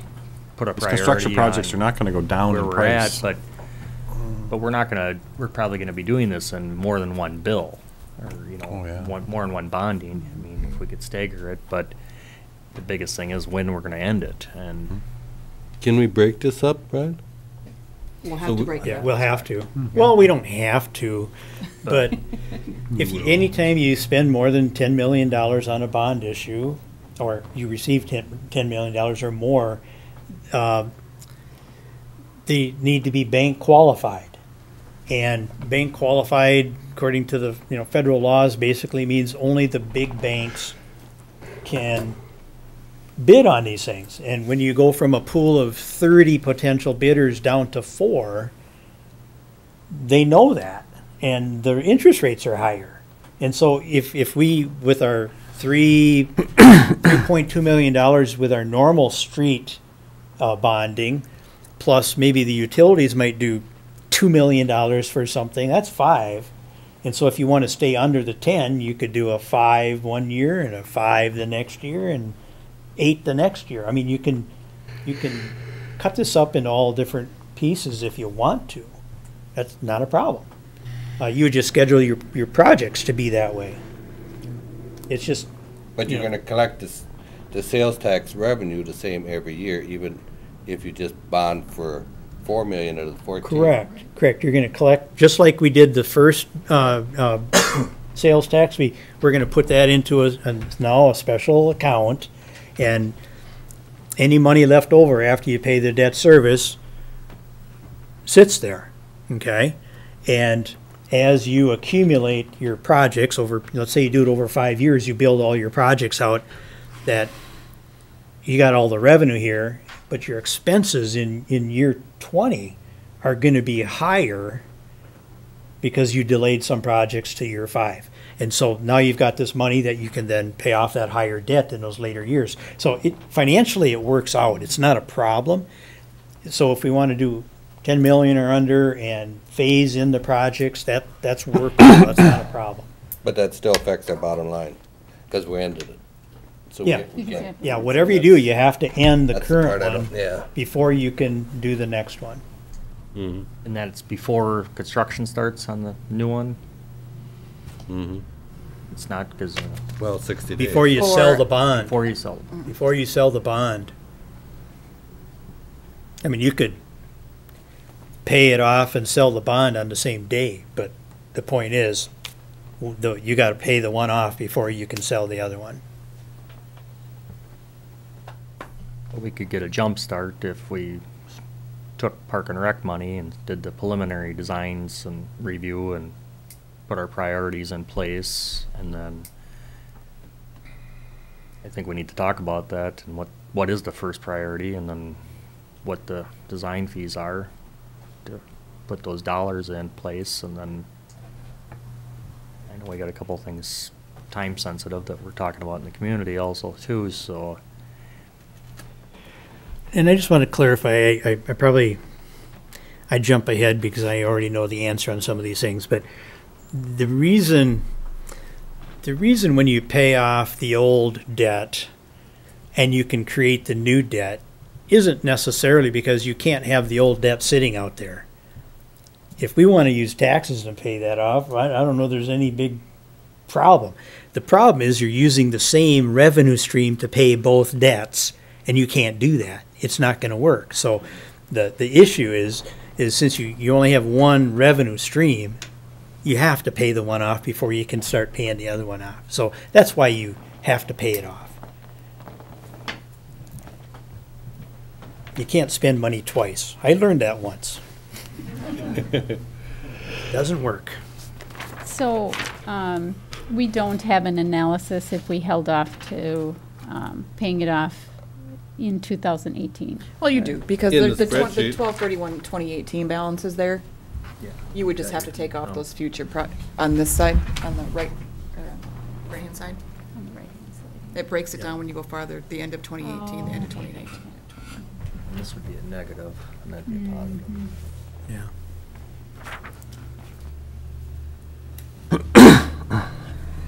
So this is really the, probably the worst case scenario and the best case scenario. Uh, and then anything in between that, whatever the council wants to do.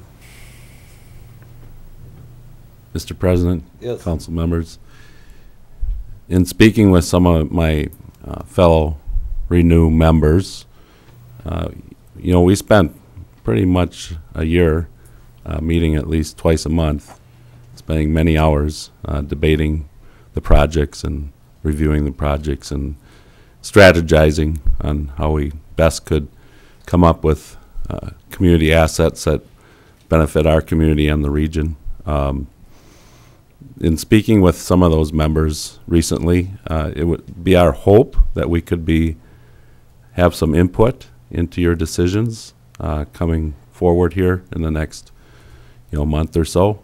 Um, and so maybe having a work session together or something like that would be, I guess, our request. But the comment on what the mayor made, the comment, you know, I know all the work that was put into it, and I appreciate all the work that was put into it, but the bottom line is, is when this work was all put into it, the idea was is to get it, try to get it passed, whether it's this year, next year, or the following year. We never once said, and I brought it up at those meetings we had prior to this, that I was not in support of ending it soon. And we said, well, that decision doesn't have to be made because we just want to get it passed. Well, now we got it passed, and now we're, we're back to the same thing. Let's end it, you know? And I guess, Mr. President, and, and I don't know if the committee would say, let's end it right now. I, I, you know, it, that, when you look at the numbers, that's maybe not the best decision. Mm-hmm. But I, but the in-between might be a better decision. And you factor in higher interest rates, you factor in inflation on projects, you know, you factor in some of those things, and maybe it is, it would be better to, to start in 2018 or 19 instead of waiting until 2020. We don't know. as long as I had my mouth going earlier, I really do believe that members, or at least some members of the Renew Commission or committee, should be involved in, the- in, mm-hmm. Maybe not necessarily in the decision, because I suppose that has to be council, but making a rec, a strong recommendation one way or the other to the council members. So I think Renew should be part of it. Uh, I don't think I officially ever th- said thank you to all the hours and hours that were spent by the Renew Committee, so, yeah, they should be involved. It could be a work session or, or Work a session, public hearing. Absolutely. Could be either one. And I think we should have the finance director there too, you know, s- looking at the numbers. And, uh, I would anticipate that it would bring uh, uh, public finance in because they did some preliminary analysis on the financial side of it. Now that we're getting more serious about it, we need to, And they could answer more of those questions about the limitations Yes. as far as Mhm. reimbursement Yeah. than, Correct. than I'm knowledgeable of. Yeah. And I guess, you know, even when we're talking about that, you know, I'd like to know that if we did end it early and, you know, we're looking at the numbers, you know, because when we're always budgeting, you know, how much taxes are gonna go up and stuff like that, we could look at that and see if we ended it early, you know, we're looking at a two percent or five percent increase, you know, to make up that differences, you know, just, there's numbers involved and without yeah. having them in front We of may, us. we may even bring up some questions that need to be addressed by the, by their bond counsel. You know, I, I don't know what, those that question might be right now, but we, I know, uh, city attorney and I have had discussions with our bond counsel already on the finer details of bonding and what you can and can't do, so. Okay. But I appreciate the time that you've taken, you know, you put out the roof, the ice refrigeration system, you know, things of that, the big ticket items, you know, I think we should take a hard double look again to make sure we've got our bases covered there too for the, Right, and we've been utilizing just the big ticket items. We don't, we don't use the renew, not the renew, but the sales tax money for a doorknob or, you know, mm-hmm. fifty dollar item. We don't do that. It's just the really big stuff, operational stuff. Yeah, a door got, doorknob got broke. That's mm-hmm. part of operations. Mm-hmm. It's just the big stuff. Well, I, I think, The object of putting on the agenda tonight served its purpose to get some talk going, and we've done it, so we aren't going to be making any re- re- decisions tonight anyway, so we can actually, if everybody's satisfied, move on. Do we want a decision of having a public meeting at some point or a work session? Do we want that decision made tonight on this particular topic? Or would you prefer to add it Could make it an agenda item in the future. Could make it, yeah. Do you have an idea when that timeline might be, Mr. Chair? Or a recommendation of when we'd want to do that, July, August? I'm thinking budget time, for sure. I mean, this is a budget issue, Yeah, we just started the 2018 budgeting process too, so, you know, Right. another month or month and a know. half into it, we will know more definitely where Park and Rec's budget sits or where their fund Right. balance is, is actually at. but I think this might take one, maybe two meetings for the renewal committee to meet and, uh, we have to allow Yeah, they a might little wanna time to pull get public together. finance involved and, uh, Mhm. So put it off to August, August, September. first meeting in August, maybe? Potentially, right in that area? Okay, August would be good, because it would give, if there's any, imp- impl- anything that impacts the 2018 budget. Correct. There would still be time to put it back Okay. Yes. in the preliminary. Like, so you want to do the, like, motion. after the second? we don't have a motion, so I'm going to offer a motion First to, part of August is kind of cluttered with activities. Let's Seems go to to the end of something August. going on there, yeah, I was gonna say that. Sturgis That's too. right. Exactly. Maybe the second meeting in August. Sturgis August. rally. well, the president can call a special meeting if you think we need to. Or we could meet in Sturgis. We can meet in Sturgis. You, you shut Right, your, Larry? did you shut your mic off Right. before you sit there? All right. So I'm going to offer a motion to um, accept the report. Second. We got a motion, a second to accept the report. Any more discussion? Seeing none. All in favor, say aye. Aye. Aye. Opposed, no. Motion carries. Item five A. Consider the following actions associated with the submittal of the housing tax credit application to the Minnesota Housing Finance Agency by the Community Housing Development Corporation for the construction of a fifty-five unit affordable housing in the former New Ulm Middle School building located at fifteen North State Street. Resolution expressing the intent to establish the administrative of the Housing Tax Increment Financing District. Resolution adopting the Housing Needs Initiative Action Plan preparing by, prepared by the Housing Initiative Needs, Housing Needs Initiative for the City of New Ulm. Resolution authorizing the submittal of a letter of support for the project. Mr. Gramentz. Mr. President, City Councilors, we have representatives of the uh, uh, Community Housing Development Corporation here, uh, Heidi Rothman and Elizabeth uh, Flannery, is that correct? And uh, I believe they're uh, wanting to, or willing to, uh, do an overview of their project so that it can be a good reminder of what they're proposing to do and what the final project will look like. Great. Mr. President, council members, thank you. I, we'd really like to thank you for considering our request this evening um, and for having us here tonight to speak to it. Um, Heidi Rathman is here with me. I'm Elizabeth Flannery. Uh, I'm the president of Community Housing Development Corporation, and we were asked to just give a kind of a brief introduction um, of our company, of our proposed project, and the timeline for our project, and just an explanation of the request in front of you this evening.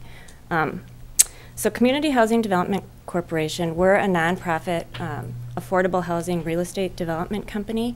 Um, we were founded in 1991 with a specific mission to preserve existing affordable housing and to create new opportunities for um, all kinds of affordable housing options. Um, we were founded in 1991, as I said. Since then, we have developed over 4,000 units of affordable housing in Minnesota primarily in the seven county metro area. We are based in Minneapolis, and our office has been at the same location since 1991. Um, but we have several properties in greater Minnes- uh, Minnesota Hibbing, um, Little Falls, Hutchinson. Um, so our properties, we are a long-term owner and manager. We don't, we, we are in it for the long term because the core mission of our company is preservation and long-term preservation. We have a strong commitment to quality design and quality management over time. And we have a portfolio that is very healthy and is a good representation of that commitment in the communities that we're, we're located. Um, as you know, and as you've seen in your packet, we're proposing to redevelop the former New Ulm Middle School. Um, our project would be the historic preservation and adaptive reuse of that building, converting it into um, multifamily affordable, affordable apartments. Um, the plan right now, as it's being designed, um, consists of 55 units total. Um, there's 12 one bedrooms, 33 two bedrooms, and 10 three bedrooms. Um, it's a very, it really converts to apartments nicely. Um, the apartments are, there's a lot of floor plans, very unique design, I think really nice units. Um, so it's a, it, the, the building does lend itself to this reuse really nicely.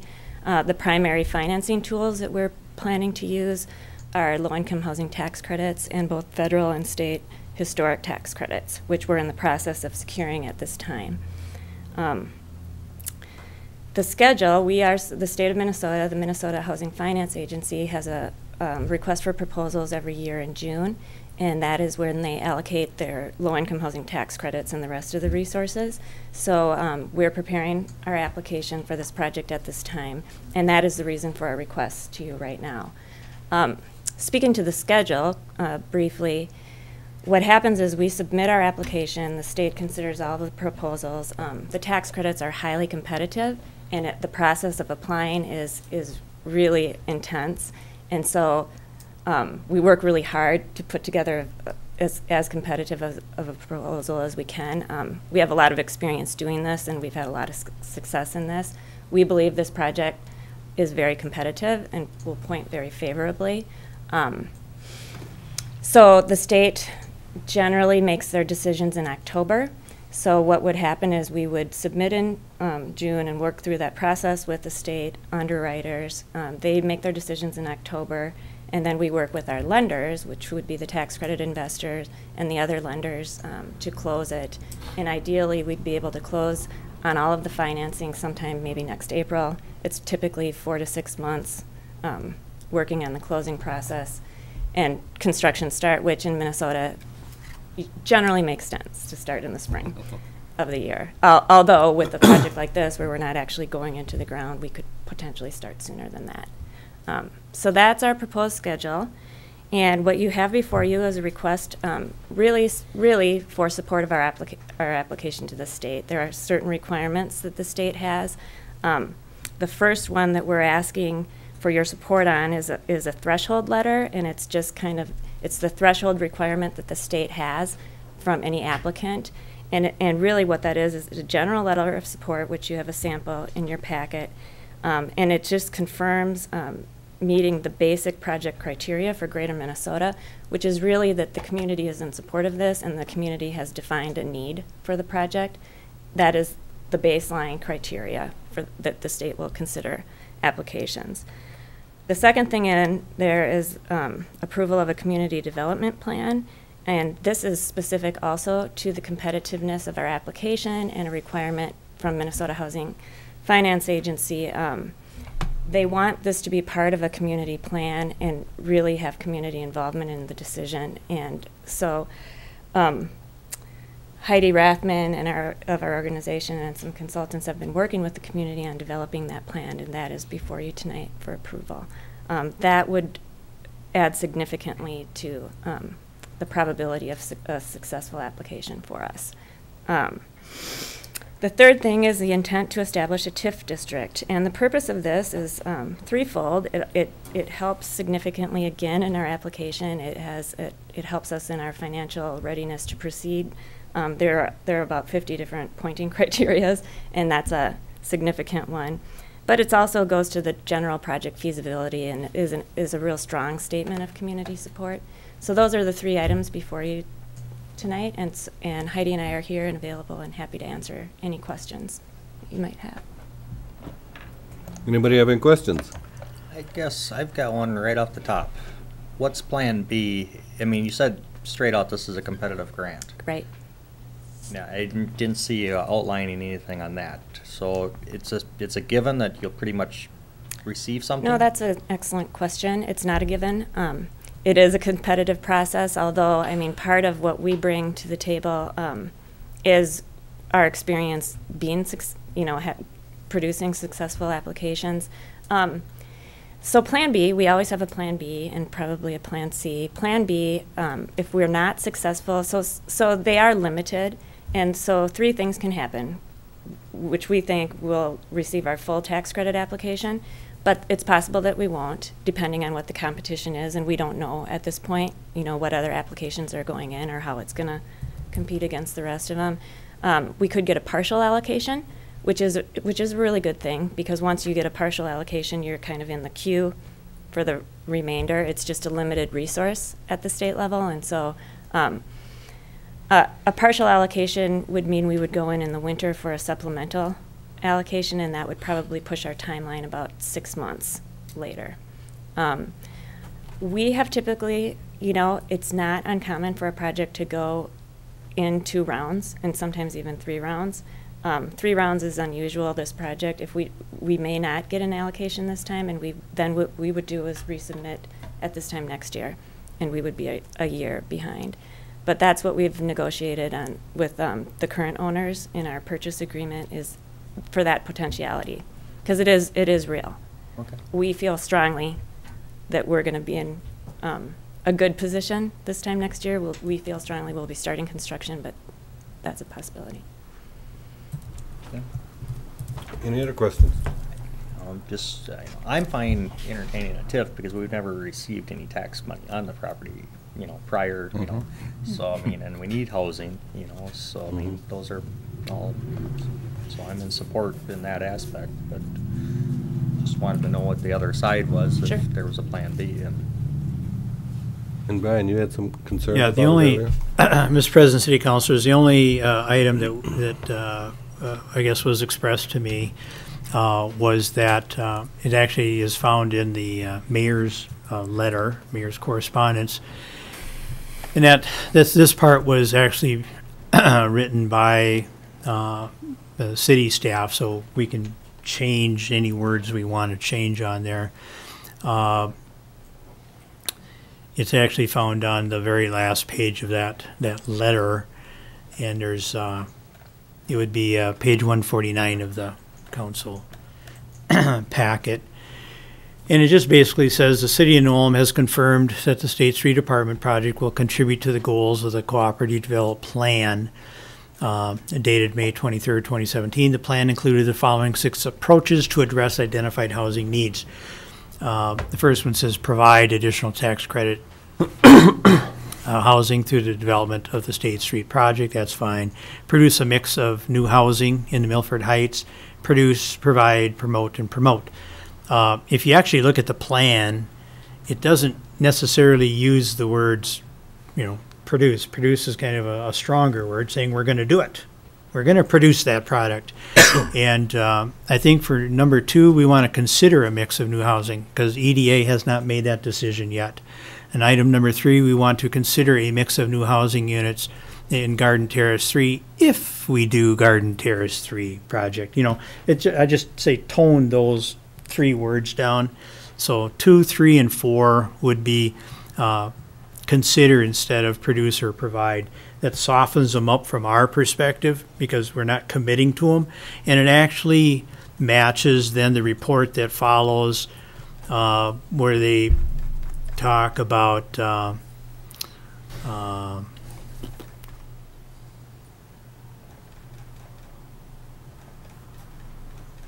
the act, actual these projects, and I, and I think you know they use things like work with the EDA.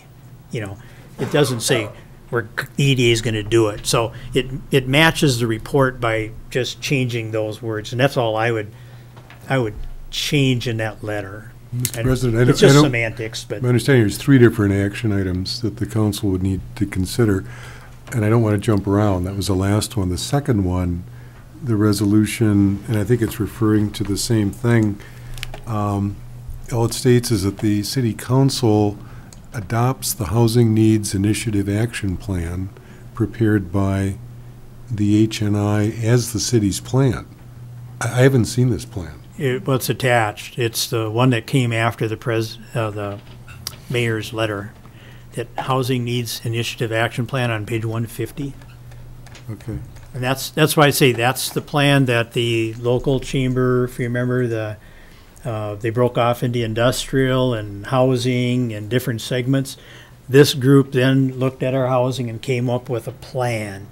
And many of the things that they talk about are, you know, I mean, they're, they're good things, uh, Well, it's, it's a, it's a very lengthy document, and I, I don't know if everyone in the council has read it, and if you're really ready to say this is gonna be the plan, because somebody at some point down the road is gonna say you better act in accordance with your plan.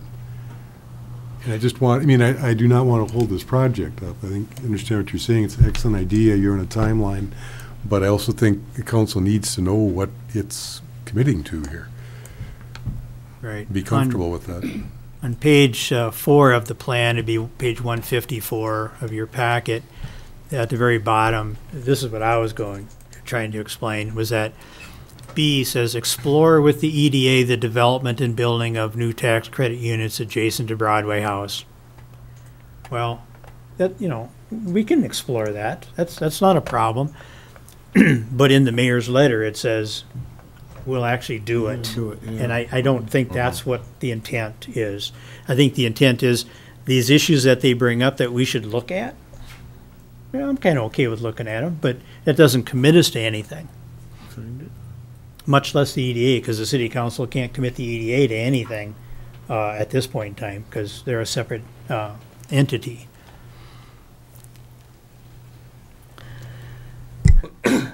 But yeah, I I think you raised the point, is that this really is not, it's not a city staff-driven plan. It's, it's a separate group's concept of what housing should look like in the city of New Ulm. Mary Ellen? Mary Ellen Dolmeyer, 916 South Jefferson Street, and a member of the Housing Needs Initiative Task Force that arose out of the Combined Chamber and the New Ulm Area Foundation retreat, visioning retreat last November. And uh, in working with uh, not just the tax credit project, for which we want support immediately because that application has to go in soon, we also took a look at what some other communities have done when they've applied for tax credit. So modeling our proposal here, and you'll also see in there that it's subject to change as we develop the, review the new 2017 study that just came out. It is subject to change.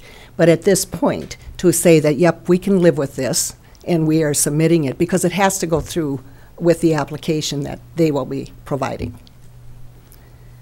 And uh, if you've got other questions as to why some of the material is in there, Dan is here, he's chair of that particular com- committee, and uh, Heather is here, and she's been working on it. And we've had other representation throughout the community that's a part of this whole effort. Many letters of support have come forth to get this particular tax credit project done. It's been 20 years since there's been a tax credit project here. Uh, we're down to 20 units, so we stand a good chance in getting this approved because of the need that's been identified, if that helps. I'm just, again, I don't want to interrupt, but the page 21, it's, the city will provide staff time. Uh, City will consider, I mean, I think it's the same thing that the city manager was talking about. Um, There are some commitments in this, and if everyone on the council has had an opportunity to review it and is comfortable with it, it's just fine. I don't know, you know, I understand you got a short timetable, but I don't know how long we've been working on this. You know, if it's coming in front of you tonight. Um, So, anyway, just want to make sure you're comfortable with what you're committing to. I'm Dan Brom. I'm 1014 Upper Wall High, and I'm the chairman of HNI, and I was one of the parties that helped draft a plan. The only thing I wanted to add to what Mary Ellen has already said is that uh, the basis uh, of the uh, plan that was developed really started from the 2012 housing study that was provided. Um, We weren't fortunate enough to have the 2017 study um, because it was just released this past week. So many of the needs that were uh, addressed in this uh, study have been around for at least the last five years. So it's not like um, these issues that are being raised now are something new. And I think it's imperative on us to, to consider that. Uh, I have no problem in changing some of the wording um, if, if the council is skittish about um, the word commitment. Um, But I think it doesn't change the fact of the- housing crisis that we're in at this time and what uh, this particular project going forward would mean for our community.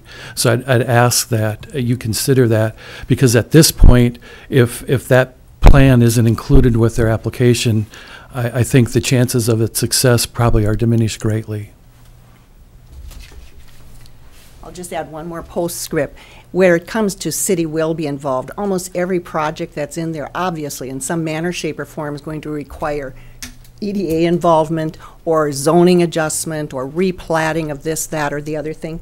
Uh, So from that perspective, obviously, the city will be involved in some aspect or another, and it means city staff. We're attempting to demonstrate that not only the city as a governance entity, but the citizens of New Ulm, uh, through the business community and so forth, that everyone is behind this particular project. Was there, is it possible to state, have the council say that they agree with the goals of the plan without adopting the entire plan verbatim? I mean, because you need this for your application. Accept the plan. I, I saw that the word adopt was in here, but if you will accept the plan as a tool for us to use going forward in concert with the 2017 study just received. It's the same thing. Or a resolution supporting the plan even. Yes. I think is acceptable. I mean, just as, just your. Because that, that's a big difference than, a- than from adopting the plan. Yeah. Uh, Dave Schnobrich, Community Development Director. Um, I've been involved in this process in the preparation of the plan along with um, Heather uh, Bragle from city staff. Um, I'm very comfortable with what um, we've presented uh, before you this evening. Um, What we have attempted to do is simply provide some different directions that we will explore we may not have the staff to do all of these things. We probably don't have the financial resources to do all these things. But what we have done is identify areas that we feel deserve further exploration and investigation on the part of the staff. And we are not envisioning that we're adding staff to do these things. These are activities that would be undertaken by the staff that the city currently has. Roger, could we also include, uh, you know, accept the plan, which can be modified from time to time by the city council? I mean, that. that- Well, we got, I think we got to have some outs. I'm looking at, you know, page 25 of the plan. Um, City council will establish the TIF district November 2017. I mean, do you want to, I mean, I think doing the TIF for this project makes a lot of sense. But are you committing to this tonight? I mean, it, there's some real specific obligations here. Um, and I understand they, if you need this, you know, it's one of the things that's on the agenda, Yeah. is, is the question of the TIF. And so what we're doing with regards to tax increment financing, it's kind of a two-step process. And we're taking step one tonight by indicating that if they are successful in securing um, the tax credit financing, that we will in fact then establish a tax increment financing district. And the numbers that you find um, on the report have all been uh, prepared by the city's financial consultant. So we've gone through the same process to date that we would typically do for a tax increment project. So nothing has changed from that standpoint. But um, we're going to stop at this point, and then if they're successful, we would pick up the tax increment district. And in the resolution, there is la- sufficient language that it is still subject to the council's approval. And uh, we would also have a development agreement for this project. So it's going to be really no different than any other TIF districts. Normally, what we do is we do everything on one night. What we're doing instead with this project is we're doing it in two different time periods, potentially. As Larry made the comment, I think we would support it. I don't think there's any chance that we wouldn't, so that's, first step wouldn't be out of line. Yeah. Well, I certainly appreciate this project. This is, um, we are at a crisis stage, as already been stated tonight, with housing in our community. There's been talk of needing 500 housing units um, that we desperately need in our community, not only for our workforce, but our people that want to move into our community. Um, I'm glad this project is here. I support this project that's here, and I'm going to go ahead and, and get this moving because we want this project here. So I'm going to offer the first um, motion, offering a resolu, or excuse me, offering a resolution, waive the reading, expressing the city of New Ulm's intent to establish and administer a housing TIF district for the construction of 55 units of affordable housing in the former New Ulm Middle School building located at 15 North State Street. Second. We got a motion and a second off for resolution, waived reading. Any more discussion? Seeing none. Finance Director, please call the roll. Councilor Fisher? Yes. Councilor Mack? Yes. Councilor Schultz? Councilor Schultz? Yes. Councilor Christian? Yes. President Schmitz? Yes, motion carries. I I have one more question for the city attorney. I know he's concerned with that. On the next one, which you said is very, waive the reading, can you use accept the housing needs initiative plan? Yes, Will that- that makes a big difference. Okay, so I'm gonna offer a resolution, waive the reading, accepting the housing needs initiative plan prepared by the Housing Needs Initiative for the city of New Ulm. And that'll be sufficient for your purposes? Yes. Second. We got a motion and a second off for resolution, waived reading according to the changes. Any more discussion? Are we going to bring that back at a later date, once we've had more time to review it, and maybe have Roger go oh, through it? Oh, I think we're going to have a lot of meetings on this. Sure, we could- Back because you're gonna we the other report. Any more discussion?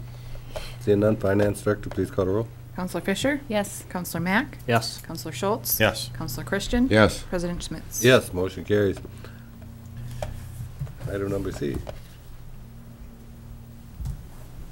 I'll take a stab at that one, too. I'll offer a resolution, waive the reading to authorize the submittal of a letter of support for the construction of 55 units of affordable housing in the former middle school building located at 15 North State Street. Second. With the inclusion I- I- of consider instead of, With the changes? term Yeah. consider instead of uh, provide on two, three, and four of that Yes. letter? Oh, yes. I'm okay with it. We okay Yeah. with that? That's fine. Second. We have a motion and a second off the resolution, waived reading. Any more discussion? Seeing none, Finance Director, please call the roll. Councilor Fisher? Yes. Councilor Mack? Yes. Councilor Schultz? Yes. Councilor Christian? Yes. President Schmitz? Yes, motion carried. Does that mean I have to sign it, or? Okay. If that's your job. If it's the mayor's report. Thank you for coming tonight. Mayor letter? This is All right. too serious Uh. Go ahead, Brad. Yeah, I meant, I- everything, we can talk about specific things, but I meant to uh, remind myself that within that plan, you, you saw that we were offering uh, a local financial incentive for this, for this project of twenty thousand dollars, and that's a, a TIF-funded thing. Uh, Of the other things that we could possibly do, uh, was, if I can find it now, uh, building permit fee adjustment, plan review fee adjustment, parkland dedication fee, curb cut fee, stormwater permit. Uh, Of those five things, I don't know that we want to do the building permit fee. I know we, I think we've done a, a plan review fee uh, reduction because it was a big project and it seemed like it was, you know, appropriate. Uh, Parkland dedication fee, is, uh, is the council interested in? I mean, you think the, the prior use of it was, uh, I don't know, three hundred kids or something, or, you know, and they could go to parks, you know, this is gonna be fifty-five apartments, it's all the parks that, and not all the parks, but the, uh, parks that are close to the project have all been developed for years. It's not like this is a new subdivision with a Right. new park, that you take that new housing, uh, parkland dedication fee and then build a new park. So the question is, is there anything you want to do with those? Um, my recommendation, if you're gonna do anything, the park dedication fee had the, the most likely result of that, uh, of, of a potential reduction of, of the five. Uh, I know, uh, Park and Rec Director would probably not, uh, encourage that, but, uh, but the bottom line is, here, all the parks around that facility have been developed for, you know, decades, Yep. if not hundred and fifty years.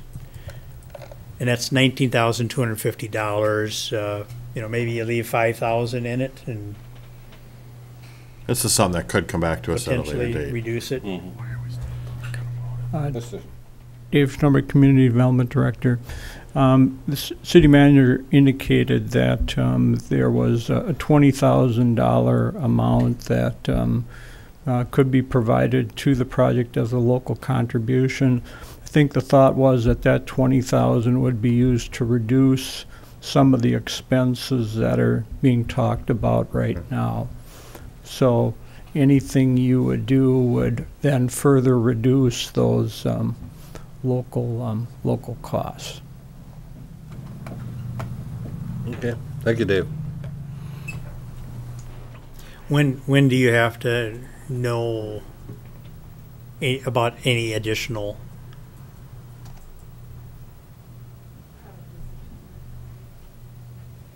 Hmm. So for purposes of the resolution, you have twenty thousand dollars in there, so for purposes of our application next week, that's all that we need. Um, we would come back to you then when we go through the site plan review process, and we can revisit that if you want to Okay. discuss it further, which would probably be, yeah, mid, All right. Okay, thank you. All right, we'll go on to item five B. Consider resolution approving the further implementation of a local performance measurements system development by the city, by the council on local results and innovations. I'll offer that resolution. Second. We got a motion and a second. Any more discussion? Offer the resolution, waived reading, sorry. I think we've been, we've liked it, so I Okay. don't see a need to stop it. Finance Director, please call the roll. Councilor Fisher? Yes. Councilor Mack? Yes. Councilor Schultz? Yes. Councilor Christian? Yes. President Schmitz? Yes, motion carries. Item five C, consider a motion to schedule a joint city council Public Utility Commission informational meeting for June twentieth, two thousand seventeen at three thirty PM to discuss the auditing, or audited financial statements for the year ending December thirty-first, two thousand sixteen. I'll offer the motion. Second. We got a motion and a second. Any discussion? Seeing none, all in favor say aye. Aye. Opposed, no. Motion carries. Item five D, consider resolution approving the MnDOT Master Partnership Contract Agreement Number one zero two eight zero three eight. Steve? Mr. President, this is a uh, rather lengthy agreement that takes care of uh, any transactions between the state of Minnesota, MnDOT, in the city of New Ulm with regard to uh, grants that have to do with transportation projects such as uh, state aid monies or federal monies.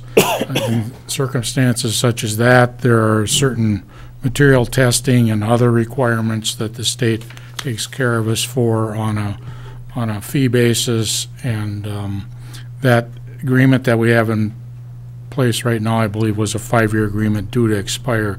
So they've extended a new uh, agreement, uh, master partnership agreement. If there's any work orders that take place outside of those kind of normal uh, issues, that would be negotiated and brought back to the city council as well. Some of those might be like if there was a flooding situation or something and we needed some help. So uh, it's pretty standard. They're, they've been very good to work with.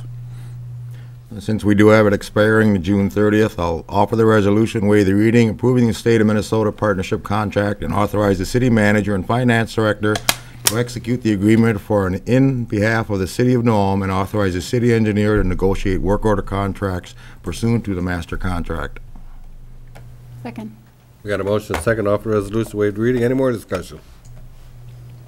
Seeing none. Finance Director, please call the roll. Councilor Fisher? Yes. Councilor Mack? Yes. Councilor Schultz? Yes. Councilor Christian? Yes. President Schmitz? Yes, motion carries. Item five E, consider motion authorized a request for proposals to create an ADA transition plan. Steve?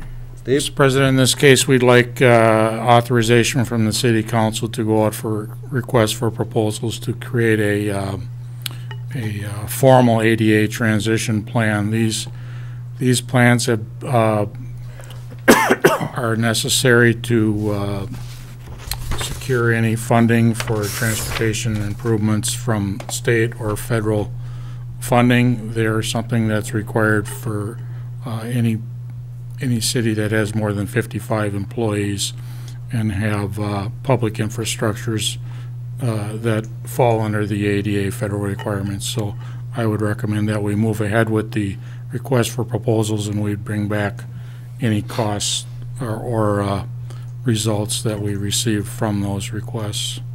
I'll offer that motion. Second. We got a motion, and second. Any more discussion? You have a timeline on that? Uh, It's included in the, uh, I think it's probably the, in August, they'd have to look at the proposal. There's a, Okay. there's a submittal date in there. So it'll come back to us sometime in Yes. August or September. All right. Probably thank you. September. Any more discussion? Excuse me. All in favor, say aye. Aye. Aye. Opposed, no. Motion carries.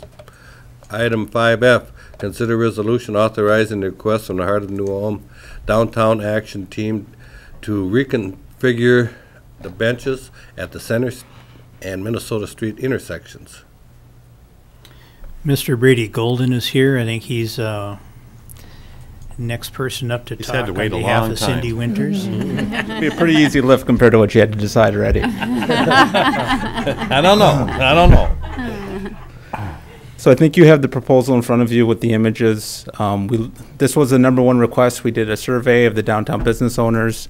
Um, the number one item on there was to increase green space and seating in the downtown district. I think green space is a much more difficult lift than adding additional seating. So we looked at what the seating that already existed and being conscious of taxpayer spending. Um, these benches benches are located below the mall. They're facing the parking ramp. I don't think they get utilized. If you look at them, there's very little wear and tear on them. Um, I don't think a lot of people sit there and watch the pigeons. So all we're requesting is to move those benches into uh, the busiest, one of the busiest corners downtown, and reconfigure them with an additional table to increase increase seating and give people an opportunity to enjoy a meal downtown. Maybe work on a laptop, have a cup of coffee, what have you. Um, we put together a sketch. I looked at a couple, one vendor or a couple vendors. It's about four hundred dollars for the table. That won't cost the city any money. We've got funding set up for that. I don't know if the city has worked with, you know, you get your park equipment. If you have an additional vendor you prefer us to work with, or can get some deal on that, we'd be open to that. Um, it's a 36 inch table, and the height will be appropriate. We have about eight feet width of space to use um, in the existing area, and the benches are each two feet long, and it's a three foot table, so we've got some wiggle room there, about a foot and a half at least. And I'd be happy to entertain any questions you might have. I was in attendance at the, at this meeting, and it- granted, again, it is a- like a pilot project, a test project. It's not something we're ordering in for the whole downtown area. I I actually did like the idea. Uh, Questioned the city engineer, I had looked at it. We still maintain our ADA on the sidewalk, whatnot. It's not really chewing up any more property. They're just kind of realigning and turning. Uh, They discussed moving the pots, the plants, the Christmas tree issues. Mhm. Uh, uh, The one question, you know, who's doing the installation of the benches and tables? I did not want to answer that at that meeting. I- If the city's going to do it, or has that been, I think that would be up for the council to decide. Um, I don't think that's a real big project to put in a couple Yeah. benches, I mean, so. we have done 'em in the think we can past. Take care of that. I've talked to uh, Mr. Curry, and he stated that, uh, you know, taking them off of where they're currently bolted down, and they're gonna have to probably repair the concrete underneath those chairs, because you can't have the bolt sticking up. Uh, And then bolting them down at the new location is not uh, a very large project. It's gonna take somebody a little bit of time, but that's, and, and equipment. Not a, not a big deal. Uh, I'm more uh, concerned, I think, with the, probably the design or the style and the construction materials of the table, because I think, you know, when you look at the, uh, the bars that have their seating area outside, you know, they're required to take their, you know, literally supposed to take their chairs in and bring them out, and uh, so they, they don't sit out there 24 hours a day. If this table were to sit out there 24 hours a day, first, you know, it's got to be bolted to the concrete also, but I think it also has to be able to take somebody standing on it when, you know, at three in the morning. And so my concern is we don't put, like in the picture, a post table with four, you know, struts out on, on the concrete. That's, that's probably gonna last a week before somebody makes it lean one direction or another. So my concern is, do we want, you know, uh, color, design, style, or construction materials to enter into this discussion? Uh, Concrete 'cause table I don't be want them to go out there and get wrecked within three days either. So they gotta be sturdy. does the, org- uh, do they have any issues with that? If it Well- was city approved? Yeah, um, like I said, what we looked at, or what I found was the park catalog. It's a website where they sell equipment that's made for this sort of load. Um, it has a base with the mounting brackets on it already. Um, this would be similar quality that you'd put in a park of any sense, so I'm sure it can handle the loads of somebody standing on it. I understand your concerns, but um, the image on there was just a representation. It wasn't the actual quality or build of the table that we were going to put Well, in the Then I would just recommend that maybe the, the design that you pick, uh, you know, maybe get, gets run past the city engineer and Sure. you say, yeah, that looks like a sturdy piece and be done with it. And then the only thing, the other thing was the color too. We just picked the red table because we found that image online. They come in multiple different colors. Um, I know the benches and the metal rails are green. I don't know if we want to match that or if you have any input on that, you can go black and make it neutral or. I think that's something that Mr. Kaler can work through. Mr. Kaler, Mr. Kaler? Mr. Kaler's into colors, just, Color. yep. Between him and the mayor, I think they'll come up with. Right, I think they can too. I, I sense we're gonna have an interesting staff meeting tomorrow. I think they could be alternate colors, all different ones that are all. You know, I've been periodically joking about these benches since I've been a city councilor nine years ago. It's like, why? Who put these in? Mm-hmm. Whoever sits at them to look at a parking lot with pigeons? I just. Pigeon um. So I'm glad they're getting out of there and getting some use because I've, I- I've asked the, the property owners across the street, have you ever seen anybody in that bench ever? No. So there's two of them there. I'm glad they're getting moved and get some good use, so.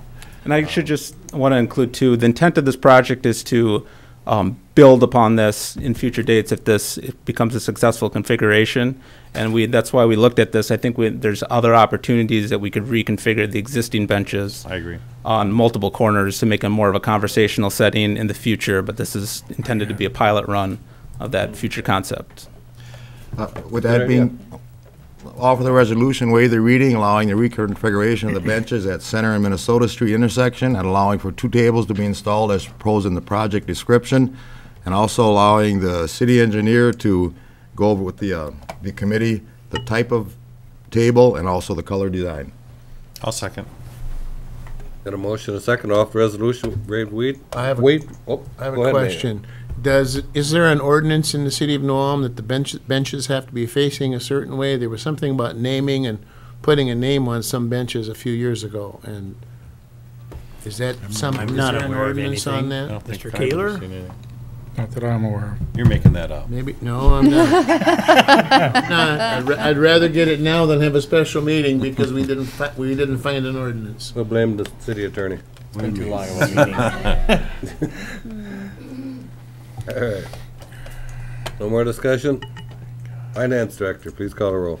Councilor Fisher? Yes. Councilor Mack? Yes. Councilor Schultz? Yes. Councilor Christian? Yes. President Schmitz? Yes, motion carries. Item five G, consider resolution approving the request from Gene, Pr- Pr- how do you say that? Pardon? Prochniak. Okay. Brown County Auditor, Treasurer, to vacate the easement area between Lot 9, Lot 10, Block 2, Lakeside Village Edition.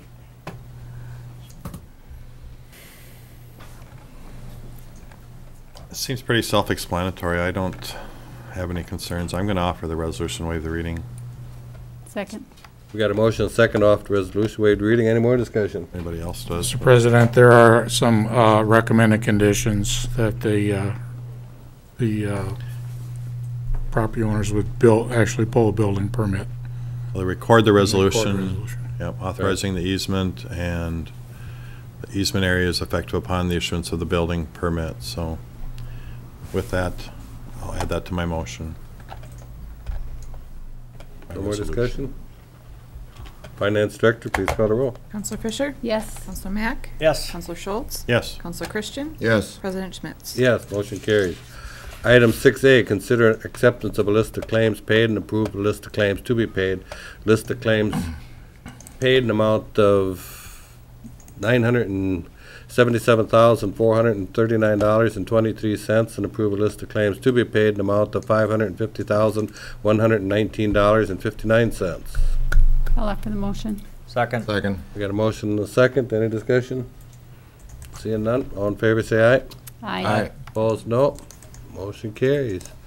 All right, we have a addendum for tonight, so we'll need a motion to, I'll offer a motion to suspend the rules for action on the addendum. Second.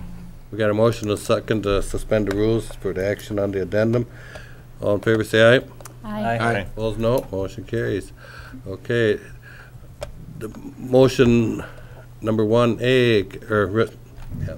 Consider a motion to receive a report from the Joint Police Fire Animal Control Storage Building Project. Mr. Gramentz. Mr. President, City Councilors, uh, as you note that uh, the project was approved on December 20th of 2016. It consisted of a three-function building, police department storage, fire department storage, and city animal control, uh, which is our kennel for stray dogs and those that are picked up by the police department. Well, that's not true either. By the uh, animal control officer, just happens to be a police officer. Uh, after the project was started, it was brought to our attention that the desired property was less than 1,000 feet from a residentially zoned area. City Code 914, Sub 7, Commercial Kennel Regulations, uh, basically states in A, all buildings occupied by a commercial kennel shall be located at least 1,000 feet from the boundary of any residential district except the RA agricultural zone. The property we're looking at is in an RA zone, but across the street to the west is a R1 residential zone. In order to meet this requirement, the building would have to be moved 400 feet east. If you look on the map, past the sewer lift station that's found there, which is, which puts it in the flood fringe area at the site, it would, uh, basically wouldn't work for the full three-function building. Uh, the city recently uh, required uh, two commercial kennels to meet that 1,000-foot city code requirement. Um, So we felt we had to abide by it also.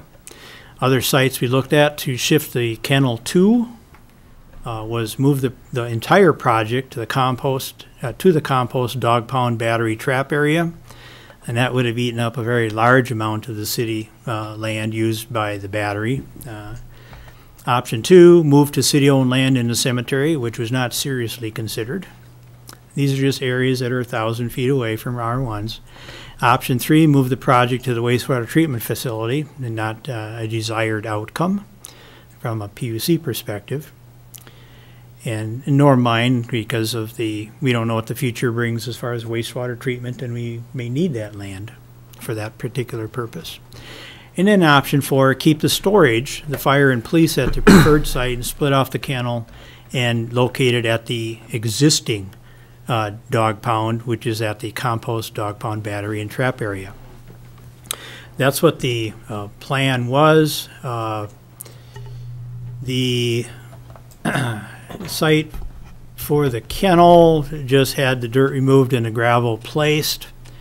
And the building uh, that houses the police storage and fire storage uh, is getting pretty well close to being um, finished.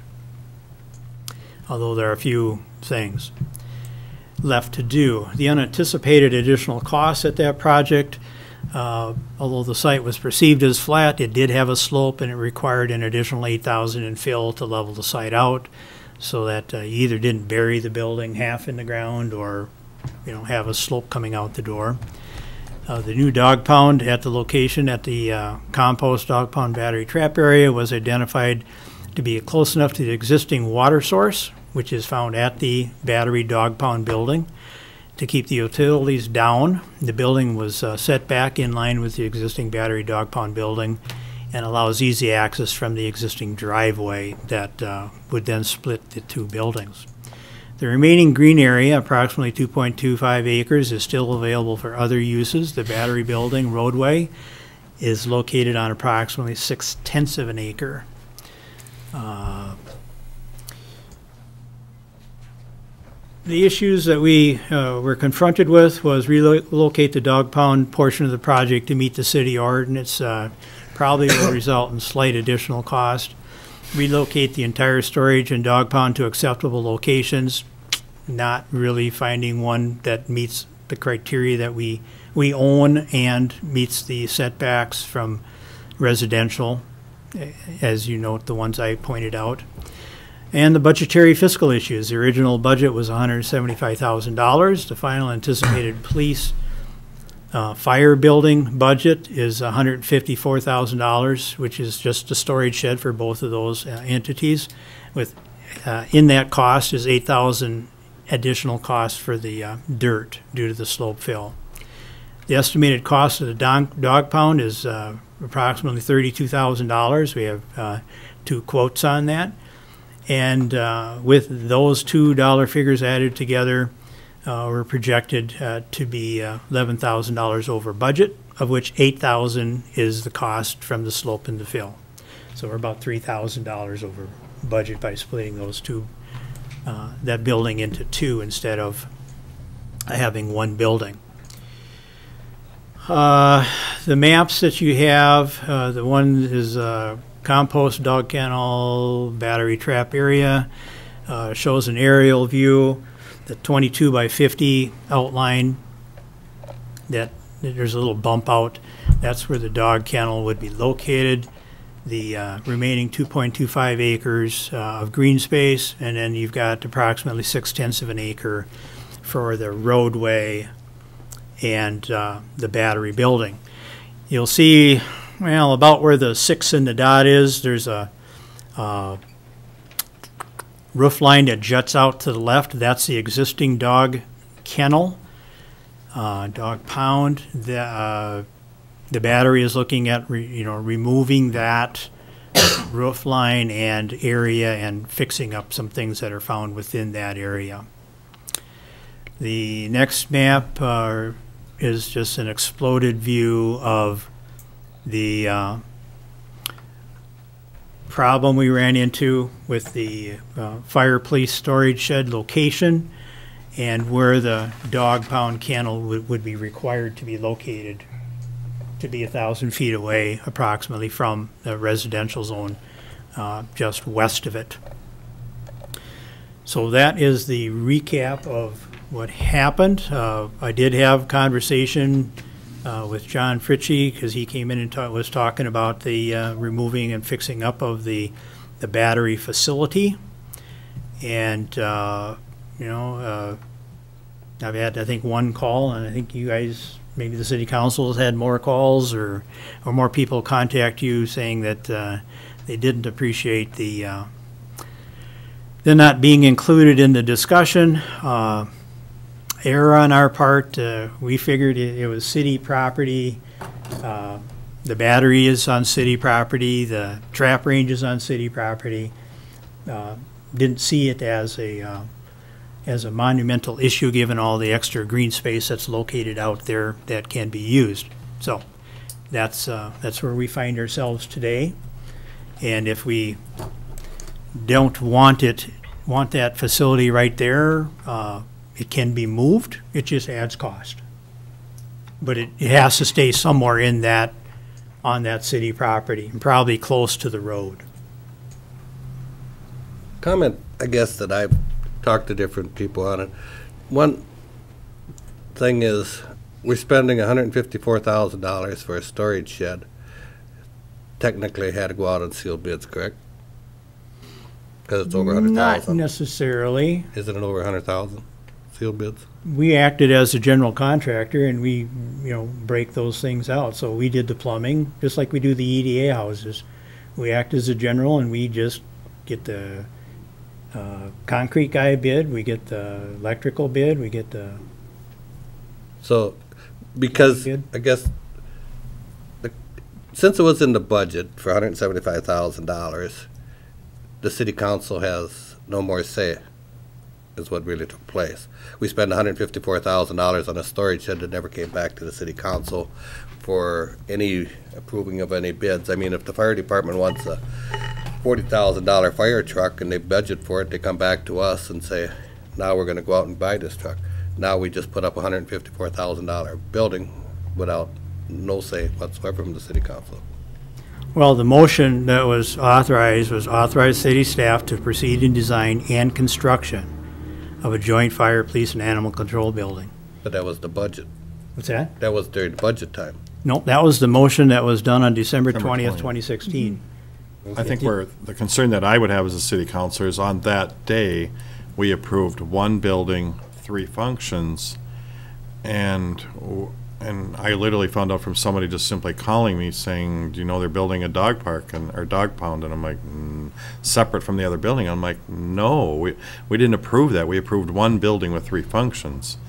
I think at that stage when we found out, or the city staff found out, we couldn't have it as close to that area as we could because of, of the ordinance uh, potential violation. At that point, it should have came back to us with potential options. Um, Would we have agreed with what the city staff did in the outcome of this? Maybe, probably. But I don't like the fact the city staff made the decision to just create a whole new plan without us knowing anything about it, nothing. I, I, I have real problems with that, real problems with that. We didn't approve that. We approved one building. Because we, we could have, I would assume it's Roger's comment, but I would assume somewhere along the line, had it been brought back, we could say, okay, let's change the ordinance and allow the Could've- dog. we could've park looked to at be that, built absolutely. Within that distance, as long as we notified the people up front, we could have probably done it. I mean, this thousand feet, I don't know what they did with the, the dog kennel we got down for, on Valley Street there. Uh, Not a dog kennel, it's a, what do you call it? Uh, Pups Playland.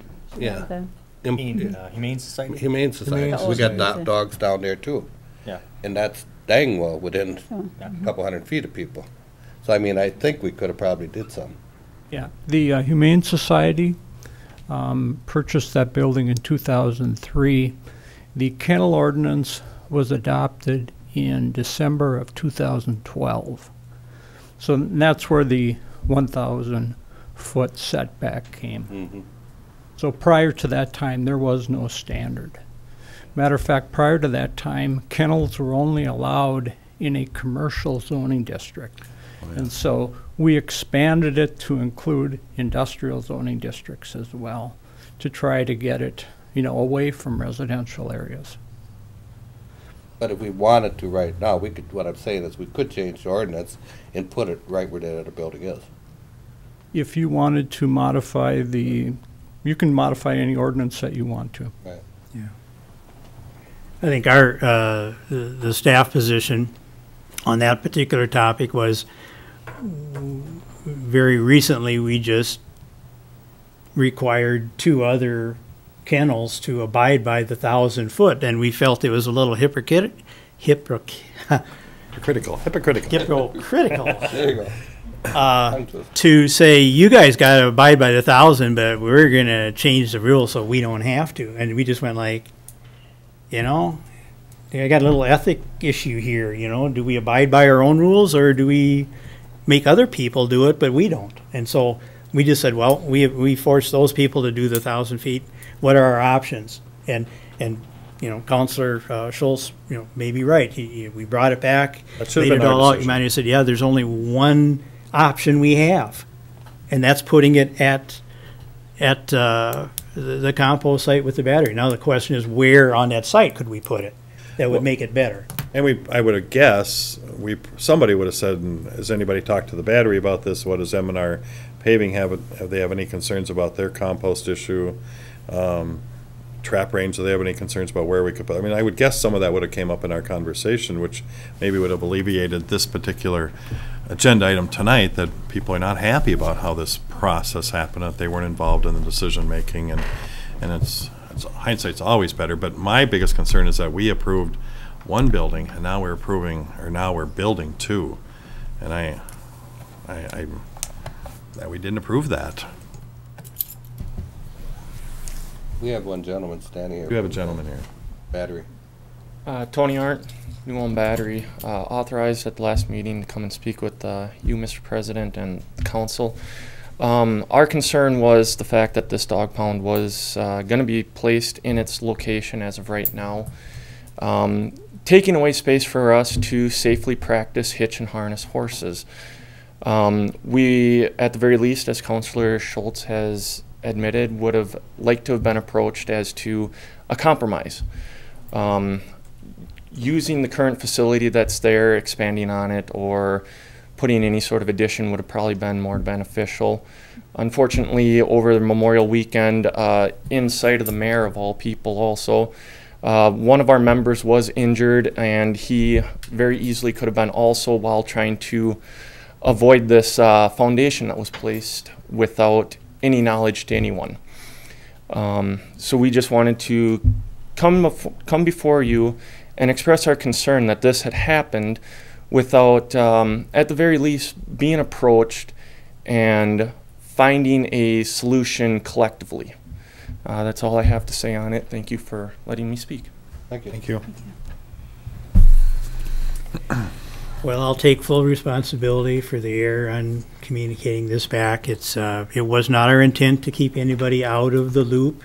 It was our intent to, uh, do what we were instructed to do. Again, as, as you noted, satisfy three particular things. We ran into a problem with one. There's really only one location in the city that works. And, uh, that, that's all I can say. I- I'm So sorry. where, where's this building project at? Where's the, the fire, fire building, if we want to call it that? Where, where's that project at in the development? That's stage? probably pretty well, almost done, what, ninety percent Elwood, or? Yeah, it's waiting for overhead doors and liner panel on the inside. Yep. And where's the dog pound? The dog pound just has the gravel foundation poured, poured in place so that when the concrete comes, you can, you can, uh, put it on top of that. We can, we can move it to a different location, but it's, we're, we're trying to hook up to the water, Sure. uh, in the existing building. Uh, You know, I can, I can move it over towards the, the road that goes into the, the, the compost. It just means I'm gonna have to have a hundred and fifty feet of water pipe to deal with. Did we make the police fire building smaller by reducing the cost? Or Elwood, did we reduce the size of the storage facility?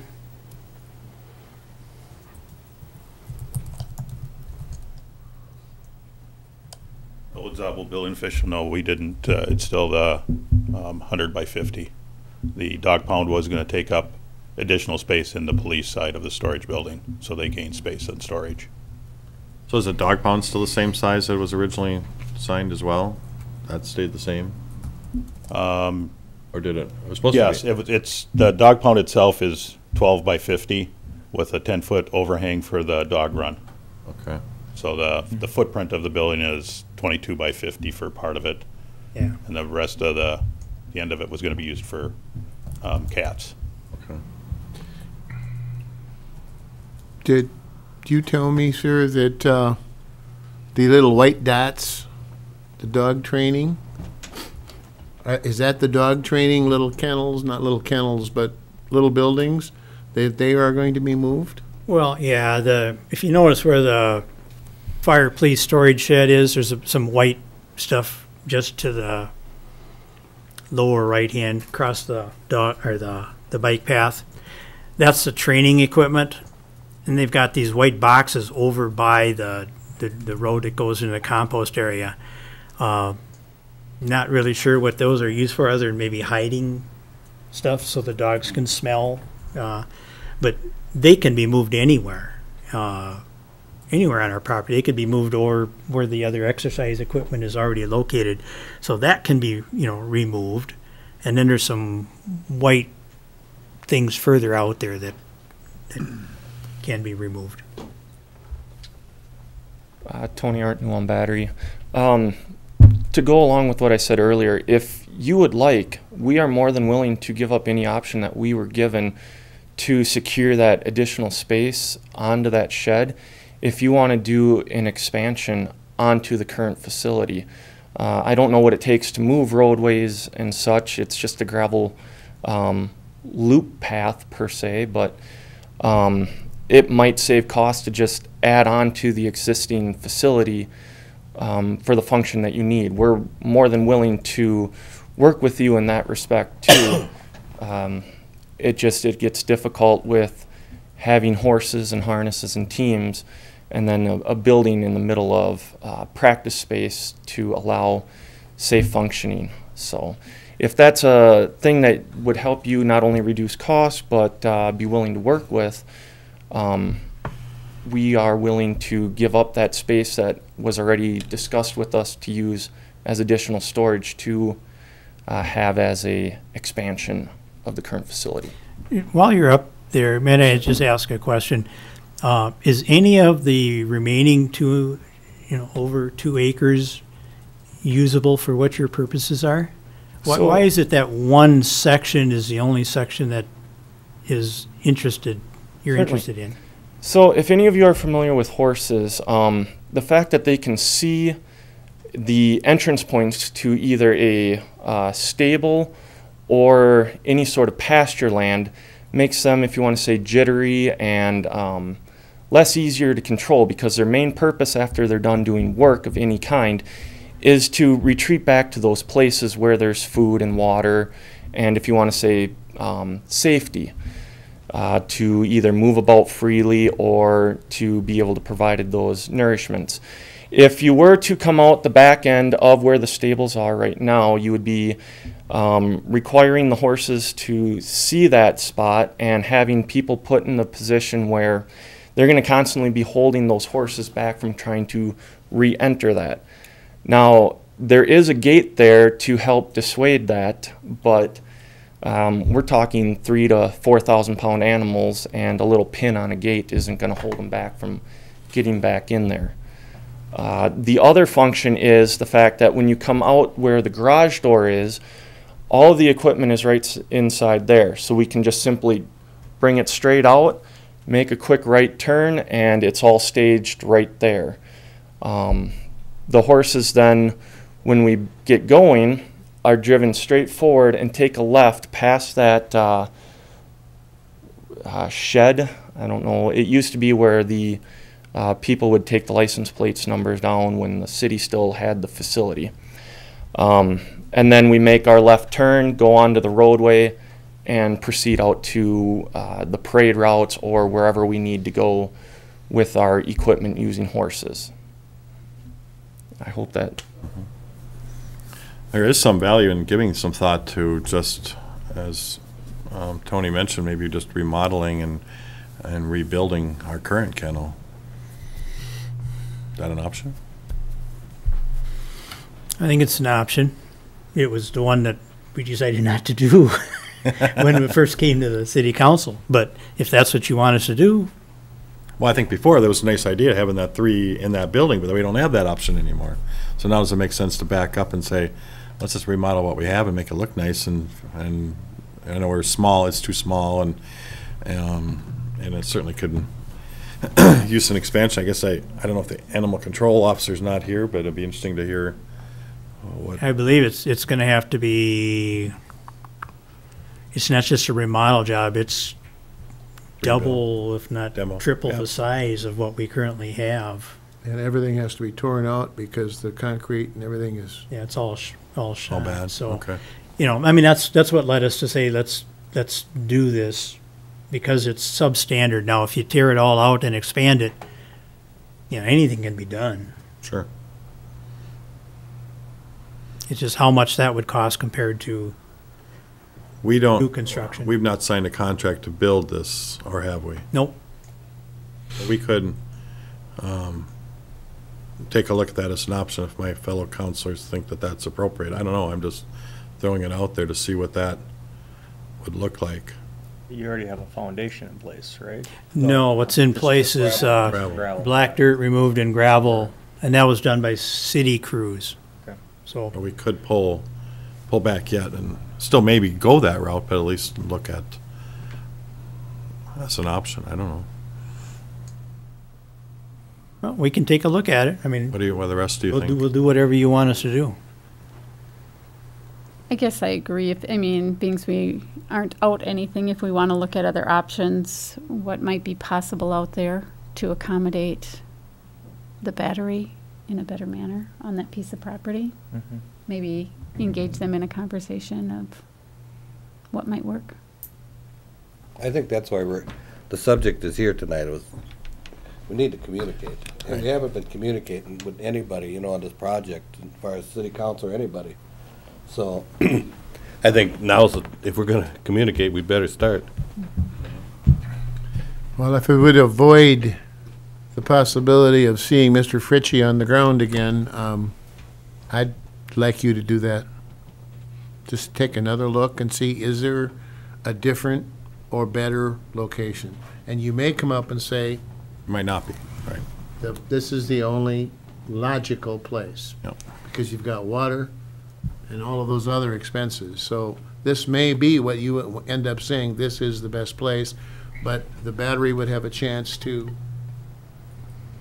put their four cents in and So I'm going to offer, so we can keep this moving tonight, offer a motion that city staff take a second look at the placement of the dog pound kennel and out in that same location, but um, bring back to us an option or two as soon as they can, so I don't, I know we don't want to hold up on this too long. Second. We got a motion and a second, any more discussion? Seeing none, all in favor, say aye. Aye. Aye. Opposed, no?